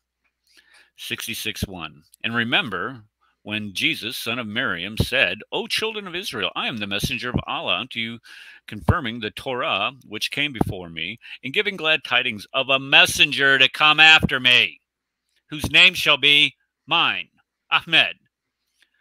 But uh, when he came to them with clear proofs, they said, This is a plain magic. Okay, so ask yourself a question How many prophets out there prophesied of themselves? Let me count none. Why wouldn't you think also that if one of the apostles heard this, that somebody would have wrote this down? Oh, there's somebody's coming after Jesus too. We better we better figure this one out. Only a fool, and when I say a fool, I mean a fool would believe that. If you're going to have somebody say by name, there's somebody that's going to come after me that has my same title, and you believe that that person is given a prophecy that nobody had heard of before, and Jesus was supposedly said this, and you can't believe that this has re- been redacted back onto on, onto Christ, our Lord and Savior Jesus Christ, you are truly blind. You are a truly blind. but, but, but, but, but don't Yeah, you know it it's the uh, Holy it- it- Spirit, you silly kafir? It's the Holy Spirit, you silly kafir, the comforter. Yeah. Well, yeah, and it says, remember. I mean, who who is he talking? Who is Allah supposed to be talking to? The Jews, or or the- or the or the Jewish Christians? I mean, you know, the word remember is really huge, and uh, it just makes Allah look like he's stumbling over his feet. Remember, Yeah, and remember when you know, where's where's the said- proof of this? Where Jesus said this? Prove it, Allah. Prove Allah wants proof, right? Prove it if he's talking, if he's being trustworthy and he's saying the truth. But Allah doesn't. Allah preaches it, but he doesn't practice it. Well, I would like to know. You're, that's a great point. I never even thought of Yes, that. it point is. Oh, I have, and it- it makes Yusuf me- said, Makes me "I am the message." And okay, and remember when he said this. So he's basically saying, "Well, he said this. It's not my fault that you guys can't remember this." No, Hey, Eric. Yeah. Hey, Eric. As I- if we first known it, and uh, and where is that? Where is that? Where's the proof, Allah? If we remembered, if we had it to remember, right? If we had it, where is it at, Allah? Such a lie. Such such. Hey, Eric. Anyway. I just want to say something about the about the last one you just the, about the uh, Zaynab. Yep. About the uh, that you know I think people knew about know about this, but you know that first of all I think he's our three quarters naked. It wasn't half naked, and then um, and then but there but there was another thing too. After he said to her, you know, keep uh, or said to Zed, no, you keep your wife. He went home to the wife that he was afraid of, which is Aisha. He was scared of Aisha, so he went to her her tent, you know, and he was there with her when the spirit came on him and he had a seizure, you know, you know, and then after the seizure, after the seizure, it says literally he smiled. And when he smiled, Aisha said, What happened, honey? And and he says, Allah just told me that he married Zainab to me. He said that. And and what's interesting is Aisha's reaction. Mm-hmm. She's the one who said at that point, it was then that Aisha said, I see that your Lord hastens to fulfill your desires. That's what that's when she said that. So anyway, I just want to throw that in. Now, what was there's an apologetic for that. There's a counter argument for that. That, and I, I agree wholeheartedly with you, Steve. Uh, but what what is the what is the Islamic response to that? Where no, she's not referring to Zainab. She's referring to the holiness else. of his desire, the perfection of his desire. well, I don't. I'm not I'm, sure what. Well, I, I can't remember how it goes. Some Muslims I, I, say some Muslims say that uh, uh, Aisha was young and she was jealous. This is why he says that word. She was whatless. Jealous, jealous from other women. Oh, oh jealous. Oh, yeah. Jealous. Yeah. Yes, yeah. she did say that. She was jealous because because she Zainab was beautiful, so she was jealous over. Yeah. Yeah. Yeah. The bottom line is it's sick. That's that's the bottom line. Okay, now the last one to demonstrate clearly that Gabriel was not who he said he was, or that Muhammad was making it all up as he goes along, is found in a hadith. And I've put this up here several times. It's from Sahih Bukhari, uh, book 60, hadith 4. Um, or let's see, if you use the English, I guess it's supposed to be volume four, book 55, hadith 546. But anyway, here's the story where um, that the uh, Muhammad arrives and they say, "Oh well, I'm going to ask you only three things that a, a, prophet would know." And of course, the guy that asks this question is if you know if, okay number one if if this guy knows the answers to these questions that only a prophet would know this guy that's asking him would also be a prophet. You know, forget that making sense for us just just for a second, okay? Don't don't and don't then, use logic. Don't don't don't use logic and reasoning when when interpreting these things. That's the science of the hadiths. You cannot use logic and reason. Okay, I'll stop right now. So let's look at what it says. He goes, "Oh, well, you know oh, three things. What are these three things?" Allah's message said to Gabriel, "Gabriel has just now told me the answers. Hamdulillah, Allah Akbar." From amongst the angels, let me, where's my pointer at? Doggone it. That doesn't matter. You can see this. Uh, let's see. From the, the enemies of the, of course, he's got to get his little anti-Semitic rub in there. The enemy of the Jew of the uh, Allah's messengers, the Jews, or amongst all the angels, is the enemy of the Jews. Okay, Gabriel's. The, oh, that's it. Gabriel's the enemies of the Jews. Never mind. Um, the first portent of the hour will be a fire. Okay, so how are you going to prove that? Prove it. You can't. But then he goes on the first meal in paradise will be fish liver. Well, we all know what fish liver tastes like, so our liver tastes like. So I'm not wanting to go to that paradise. But I don't, I don't, I can, I can honestly say I do not know what fish liver tastes like, and I really would not want to even try it, dude. It's an aphrodisiac, though. Is it? Yeah. Okay. I'll just yeah. That's okay. I'll an pass. aphrodisiac for who? For fish.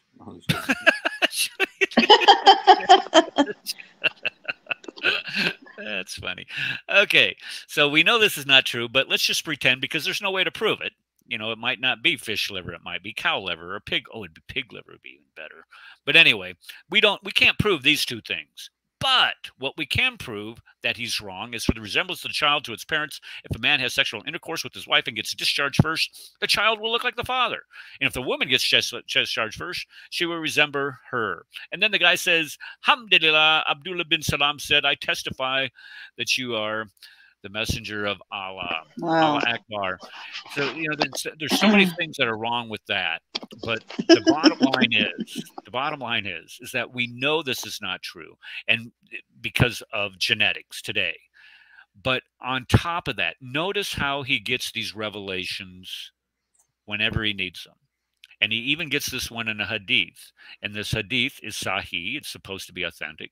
So just to say, I mean, when we start saying that, you know, we know that he's not a prophet because of these insertions that we found in the Quran. We talked about that for the first hour of the show. The last half hour, we've been going through these convenient revelations. You can clearly see that if you're looking at the Quran objectively, anyway, that there's no way in Hades that this guy is a prophet of any kind. And to say otherwise, and if you were to to say that again, is subjecting yourself to all kinds of criticism, name calling, bullying, uh, phobia type things, racist bigotry, or whatever. But to say the truth, even if it is offensive to you, should never be made. I wouldn't say illegal, but not in vogue. Let's just put it that way. It should never, if proclaiming the truth should never be something that people should be afraid to do, whether they be afraid physically to do it in Islamic majority countries, um, culturally uh, afraid to do it in countries where you're ostracized for apostatizing from Islam, or um, uh, professionally, where people will try to get you fired for proclaiming uh, the truth about Muhammad, about the Quran, and about Islam itself. So you should never uh, be doing that. All right. That's all I have on the slideshow, unless you guys wanted to go through anachronisms. Did you guys want to go through those too? Sure, that would be great. Okay. Let me see if I can find them. Did, did you talk about like when Muhammad, uh, you know, when his wife caught him cheating, and then he he he went on a pity party for a few days, and then uh, Allah revealed to him that, That his could. wife, you know. Yeah, he did. Did, and did, all- didn't you, Eric? Yeah. Uh, let me see. It was honey, though. It was honey, man. No, he was refusing himself Yeah. honey. Oh wait, no, that's not what it. the real meaning is. You know, man. See, Uh, you guys just don't know. Why He's the beautiful. why Yeah, banneth Allah. thou that which Allah hath made lawful for thee? Is that what you're talking about, Steve? Yeah, yeah. Okay, yeah. That's I mean that's I mean that's one of the most obvious lies told by you know, if I was to do that to the queen, okay, and I would come home and you know, I'm caught red-handed and I'd say, "Look, God has told me that it's okay for me to do that and I should not make those type of promises to you." What is the life expectancy of this kafir if I they, they, they, they'd be finding in various places of Iowa, you know, piece by piece, I'm sure. Mm-hmm. But, Yep. um, but, but I don't know uh, about most- Thursday. I think she would just find the corn. Near, the, there's a cornfield that sits about a quarter mile. I'd probably bury it out in the middle of that thing. and a chipper shredder. Yeah. Yeah. Dude, but but but but you're not you're not a prophet. Don't you get that he had prophet privileges? Well, what if I claim to be one? But I when mean, he said that, he would have made himself a Well, you prophet. can't be- God you- told me not.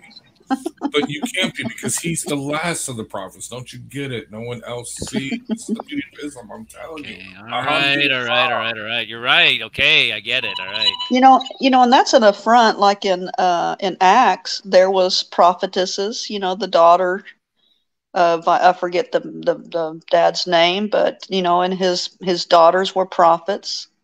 You know, and uh, you know, man, Moses uh, Moses prayed. You know, would would to God that all of his servants, you know, be prophets, and uh, you know, for him for for the Quran to claim that he's the last of the prophets, the seal of the prophets, is so ridiculous because God's still moving and and uh, and working through His body to bless others and the body of Christ. Well, this You is know. why um, Elijah Muhammad was a prophet for the nation of Islam. Don't you know? Using that logic, anyway. I, Mhm, I, mhm. it's. I mean, that, that's That's kind of like a slap in the face to uh, Islam in general, you know. So right. um, I agree. All right, let's go up to these anachronisms. Anachronisms are always fun. Um, demonstrate the absurdity of the absurd. Let me bring this up here. Okay, anachronism. This is the definition: is the custom event object to which it does not belong. It's attributing it to uh, what it doesn't belong. George Washington driving a car into Washington D.C. Well, Washington D.C. didn't exist when George Washington was inaugurated, so that would not be true.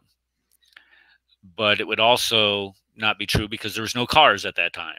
So the car would be the anachronism. Pilgrims using GPS and Roman soldiers shooting someone. All right, so let's look at some of these anachronisms. Coins. We talked about this the other night on the show, uh, where we look in Sir 1220. It says Joseph sold him for a miserable price for a few dirhams, counted out in socialist estimation.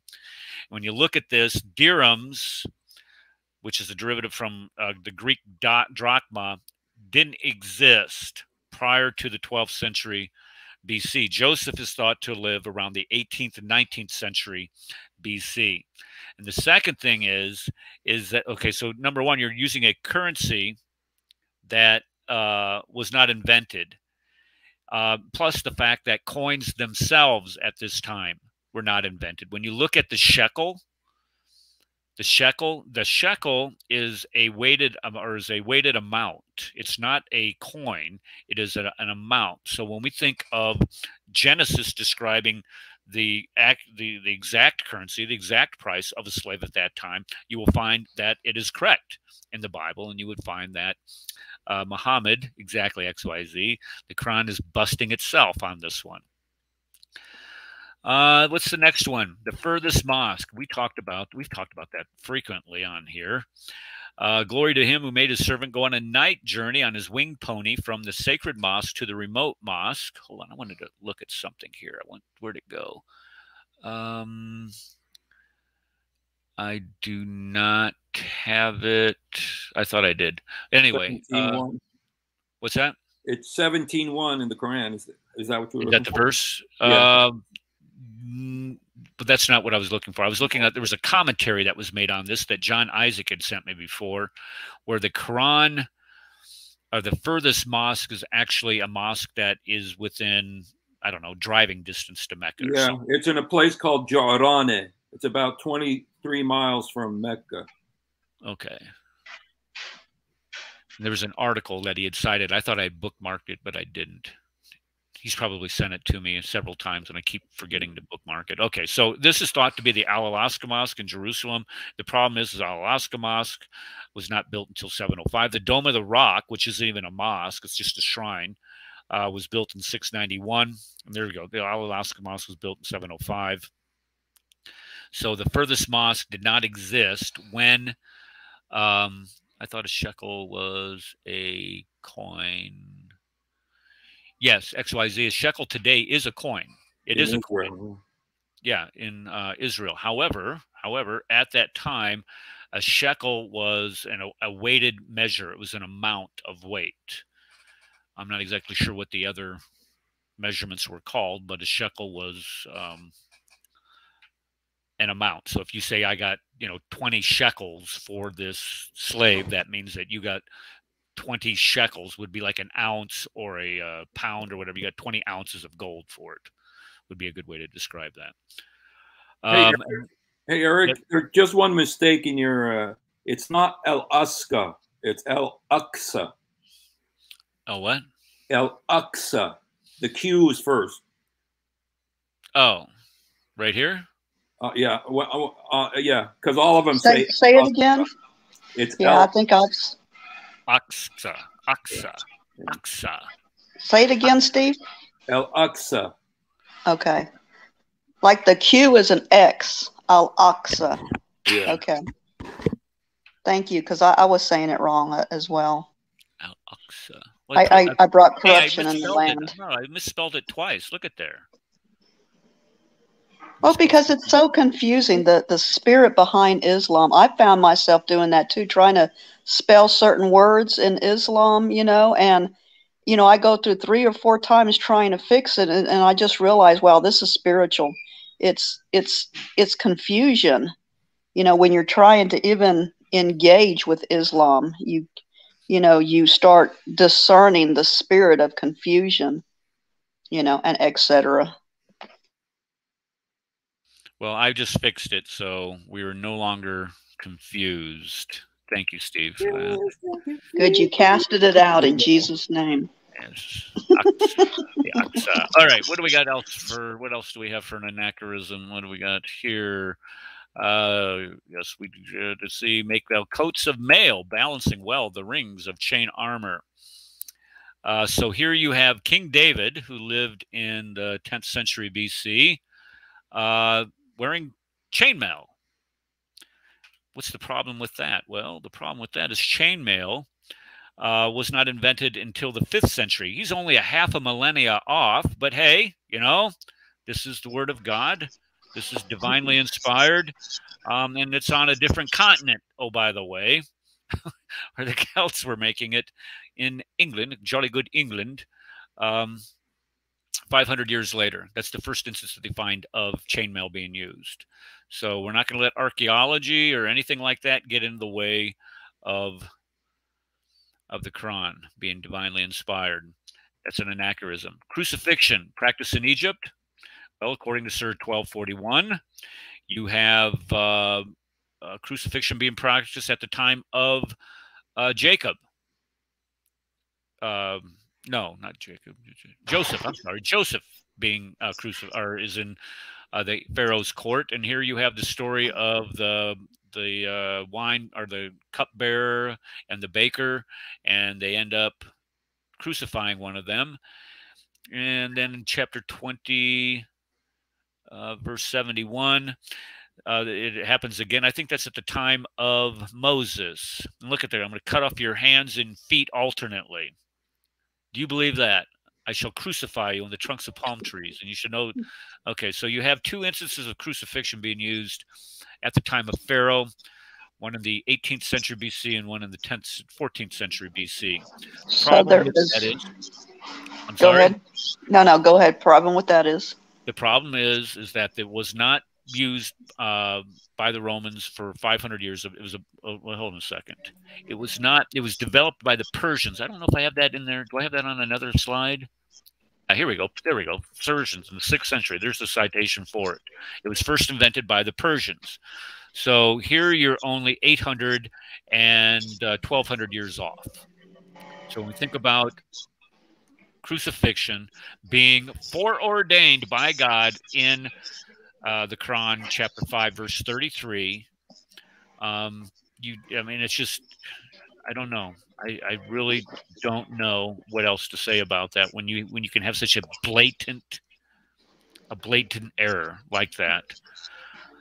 Um, what do I? Well, you know, they're trying to make it look like, see, you know, we're not the only ones doing this gross stuff. Those did it.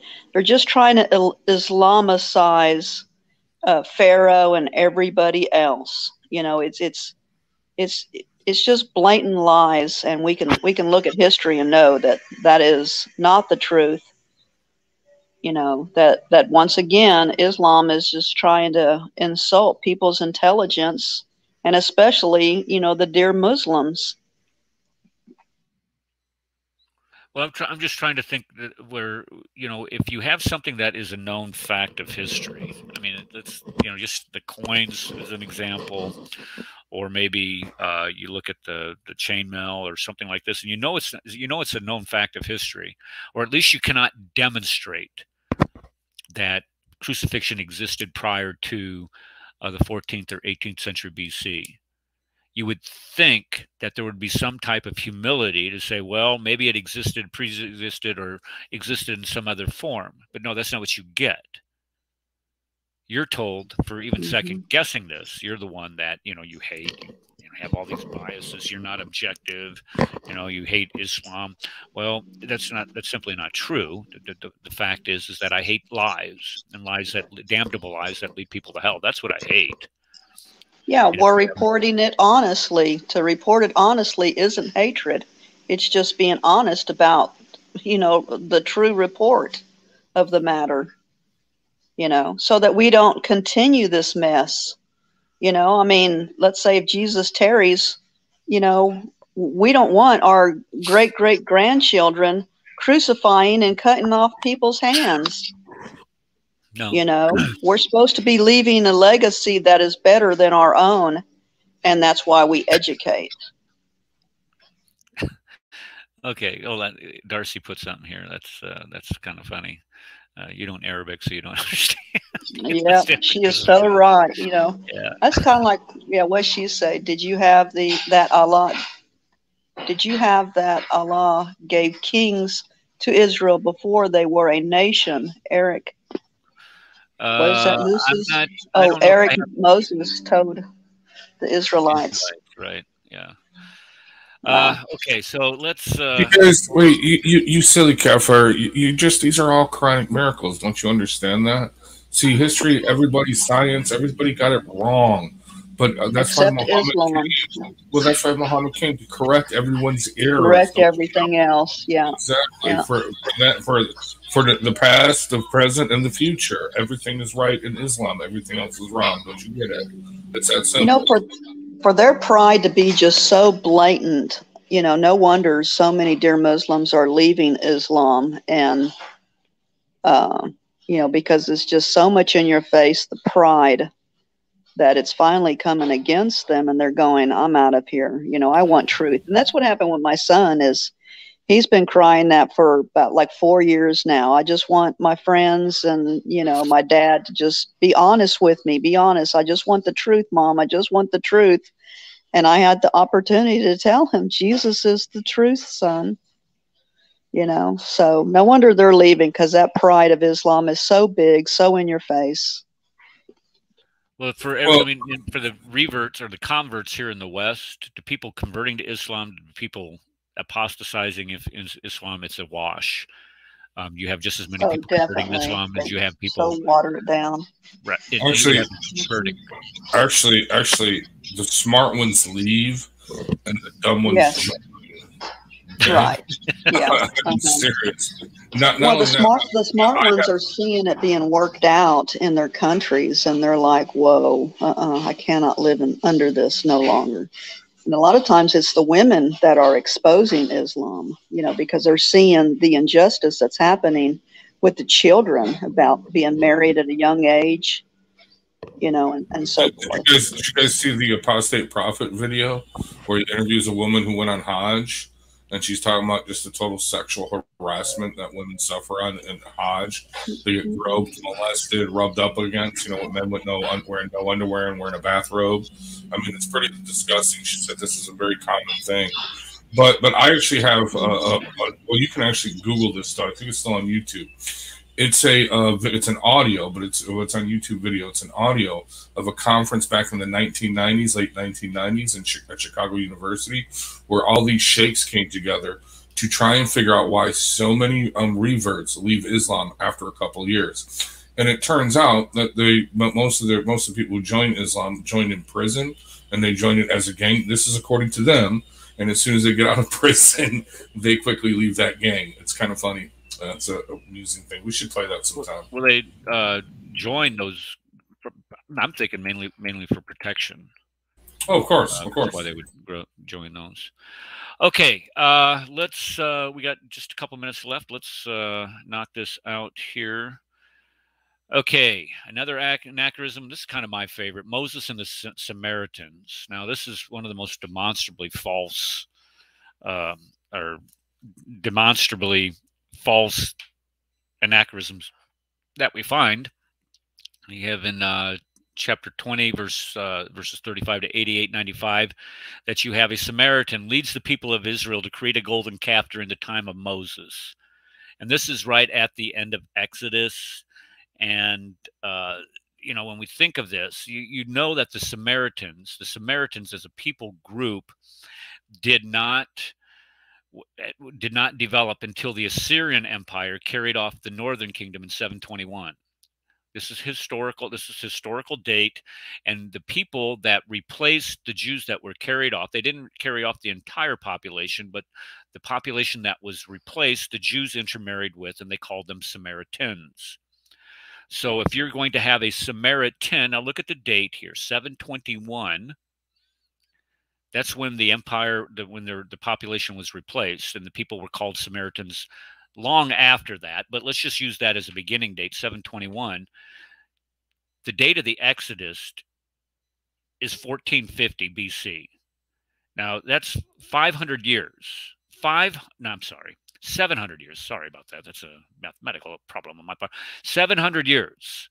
You have a 700 year span here of a people group that did not exist, helping Moses and Aaron, or helping Aaron at Mount Sinai build the golden calf. That is a clear anachronism. How can a Samaritan have led Israel astray? It's right there. Okay. All right, next one. Yeah, and our famous uh, imam has an explanation for that, of course. What It, that? it just meant the land. He said it's just it, it just meant the land, the people from that land, like Syria. I heard him say that the other day. What? What do you mean? I don't. Yeah. The Samaritans, that it just meant the land, like it meant in Syria. It didn't mean people. Did, did you guys hear too that the you know in, in Revelation where that woman sits on seven hills? Mm-hmm. Yeah, Yeah. she's also Samaritan because it says that if she's sitting on seven hills, she must be of some area. Some area. Okay. Wow. That's, you know, talk about You wanting to the wor- change words and Dave, I things. tell you what, you got the Yeah. best jokes. Don't you rent in some area, some area. and- Is she sitting on seven big old hills? Oh my gosh, that is funny. Okay, uh, let's let's go back to this next. One. All right, Mary and Mary. Um, we discussed this Oh, on yeah. Tuesday night. Yeah. Um, and look, you got all these other verses here. Verse chapter twenty, verse nineteen, verse sixty, or chapter sixty-six, but on uh, twenty-three. That's not where I want you to go. I want you to go to chapter three, verses 33 to 45. And this shtick that they developed that, well, this is just a referral or referring to uh, Mary as uh, uh, Sister as a sister. Yeah, sister of Aaron was only kind of a, a, a way to refer to as a brother or a sister, a Christian brother or sister. But they can't get out of that by using those that chapter because if you look at um, chapter 30 i don't know if i have it in here. No i don't have it in here. But if you would read those read that chapter it says you have Imran well it's in this diagram here. You have Imran being described in that chapter. You have the wife of Imran being described in that chapter and you have mary. Nowhere else in the bible um, i believe anyway and in the quran is anybody attributed as being Imran other than the father of Maryam, and that would make her the sister of Aaron and of Moses. So the bottom line is is that uh, Muhammad uh, confused Mary with uh, the sister as be, Mary, the mother of Jesus, being the sister of Aaron and Moses. And if Spirit of confusion. Hadith- yeah, I would like to see what the Hadith says with Ibn Kathir. Steve has Steve showed something of that the other day. Didn't you, You have Steve? And it kind of shut uh, Aisha's mouth. Oh yeah, the the the Christian, yeah. the Christian from the Najran. What happened is somebody went to the Christians of Najran, and uh, and they came to and they said, uh, "Hey, you guys, you know what? You guys got a big big boo boo in the in your Quran because you know Mary." Uh, there was a 600 year gap between Aaron and Miriam, Ma- Mary, the mother of Jesus. They thought it was 600 years. And they told Aisha, and Aisha said, You lie. And then it says she she became silent, you know, when they said that. But then, then she says, Go tell the prophet because he knows best. And the prophet says, Oh, yeah, people used to name their kids after prophets back then. That's Well, well, see, see, you, you silly kafirs, don't you understand? When it says the sister of of of Aaron, it's you know that's how the Jews used to speak back then. You know when, when they would say you know the son of David, you know it's the same thing. You know sister of Aaron. That's really what it means. Well, the problem is with that Muslim. I'm arguing now with this is the Christian. I'll argue with my Muslim side because you know I have one. You know one. one you know what I mean. Anyway, the problem with that it's still anachronistic. It's still anachronistic because guess what? Well, it's still made up because guess what? There is no documentation where Jews ever called anybody a sister of any ancestor. Okay, they would say, "Oh, Right. daughter of." okay, or oh, son of, but never sister. That is just stupidity. But again, Muslims never let facts, logic, reason get in the way of a failed argument. But yeah. trying to find that Tafsir. Uh, Tafsir by Kath- If Ibn I could find it, Kathir. let me see if I could find it. 12 chapter or verse 12 um what the heck are they talking about honeybees and such what is this maybe the lord divorces with wise. Um yeah if you could find that for me steve i'd appreciate it because I, I can't find it. All right um let's see here. Next one. Oh yeah here's a really good one. Moses and haman. You know haman from the story of esther? Okay here you have in chapter 28, verse 50 or 5 through 8, you have Haman acting in the court of Pharaoh. So Pharaoh and Haman are all the Wow. host of men who were okay of sin. So here you have uh, in another one, you have Pharaoh said, "O Haman, bake the mud, lofty tower. I may serve you." Okay, so in a, a lofty tower. Now I don't know. Can you say that this is the Tower of Babel or not? You know, he would only be over off another thousand years if that's the case. But But Right. it, it is in the right area geographically, though, because it's in Babylon. So right, the yeah, Well, that's what Pharaoh was. Which they took from the Bible, you know, that's all corrupt anyway, right? Unless it agrees with the Quran. Okay, the, pro- the problem is, is Haman lives in the sixth century. The Jews stopped dealing with Pharaoh, according to the Bible, uh, in the 14th century BC. So this is 800 years after the, the fact. Persia is clear on the opposite side of the Arabian Peninsula from Egypt. And the key character here in uh, Esther, Haman, um, is a Persian name. It's not an Egyptian name. And when you start talking about, and you know, it doesn't even appear in any. It doesn't appear in any Egyptian literature. Haman. So if nobody else's name, I mean, you you find Jewish names uh, uncovered in um, what's that tell that they dug up in Goshen. There, there was a, a tell that they dug up in Goshen, and they found a book that lists a lot of some um, Jewish names in it. So it looks like there was Jews at some point in time in Goshen. That's that's another subject. But the Wow, fact of the that's matter amazing. is here, yeah. If you would watch, on, would- let's see here. Let's get these out here. Tim Mahoney, you have patterns of evidence. I think that's where it talks about that. And then you have the Moses controversy, and then you have the Red Sea miracle, part one and part two. I would recommend those Wow. videos Okay. for, for anybody, especially the first one. The first one is really good um, because it, it talks about how uh, how sensible, sensical it is to have uh, an, an exodus at, at the time because the, the whole thing is is about placing the exodus at the time that it was supposed to happen. And then when you look at the moses controversy that deals with the writing and uh, uh, and moses having the ability to um, right what is this? Uh, I've, I've got the I got the hadith when you want to see it. yeah go ahead steve go ahead Um, pop it up there I, I just want to say one thing though, real quickly about the Imran and Aaron issue. That I've got videos of sheikhs in Arabic saying that there were two Imrans, and that I got sheikhs saying there were two Aarons. And and but the real problem they have is they only got. and so the Bible's Say that again. You, you you broke up. Say your last sentence again. the, the real problem is they they only got one. steve you're lagging Oh, lagging steve Oh, really? Lag, steve you Turn, go off, to turn off your video t- and turn off. Go, you go to the kitchen. No, dude. he goes to the kitchen. Uh, I I know. he- Yeah, go to the kitchen, lags when Steve. in the Then I, when I go we to the love kitchen, Steve's hungry, kitchen. No, what I- Okay, now try to say it. Okay, what I was saying, I have videos of sheikhs, imams in Arabic saying there were imrans. You see, but Go by the stove. oh, Go by the stove. You're still breaking up, dude. Oh, really?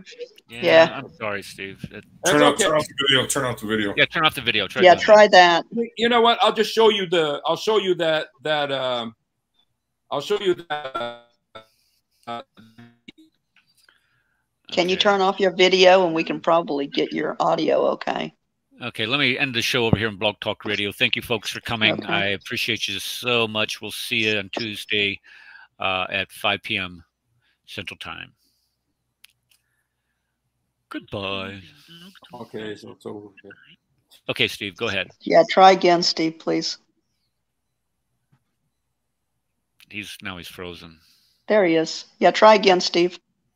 Can you hear me now? Yep. Okay. Uh, there. All right. So Okay. I see your screen, screenshot. Uh, inshallah, the hadith related by Muh-. Muhaj- Muhajiri ibn. Um, I just. Oh yeah. Let me see if I could. Oh, we can't see it no more, Eric. Here, here. Let me get it. Okay. Oh, he cut it off. Don't blame me. Woohoo. Oh, okay. My bad. Uh, I was also somebody in the. but you know, it uh, always falls back on you. Is Lage- Lagela in okay, hold on. Who is this? I'm not sure. I should I go away? Nice. I don't know. No, stay. Stay. This is probably. If you're not a good. Christian, please stay. Right? We want them to stay. Absolutely. All right, Yes, go ahead. Steve. Yeah. On the Ah. I'm having trouble showing. Oh, okay. Can I show? Okay. Yeah, Uh, the- see. you can see it on the right there. I can Yes, see sir. it. Yeah, I can. Let me read it. It says, "When I came to Najran, they, the Christians of Najran, asked me, you re- you read Sister of Harun, which is Mary, which Harun is Aaron, if I'm not mistaken, Yes. in the Quran, whereas Moses was born well before Jesus. When I came back to Allah's messenger, I asked him about that, and he said." The people of the old age used to give names to their persons after the names of apostle and pious persons who had gone on before them. Yeah. So that's the hadith that you're saying, Sahih Muslim, uh, fifty-three twenty-six. Where you lie. You know. Well, we didn't read that part. We didn't see the part where she said- she said you lie.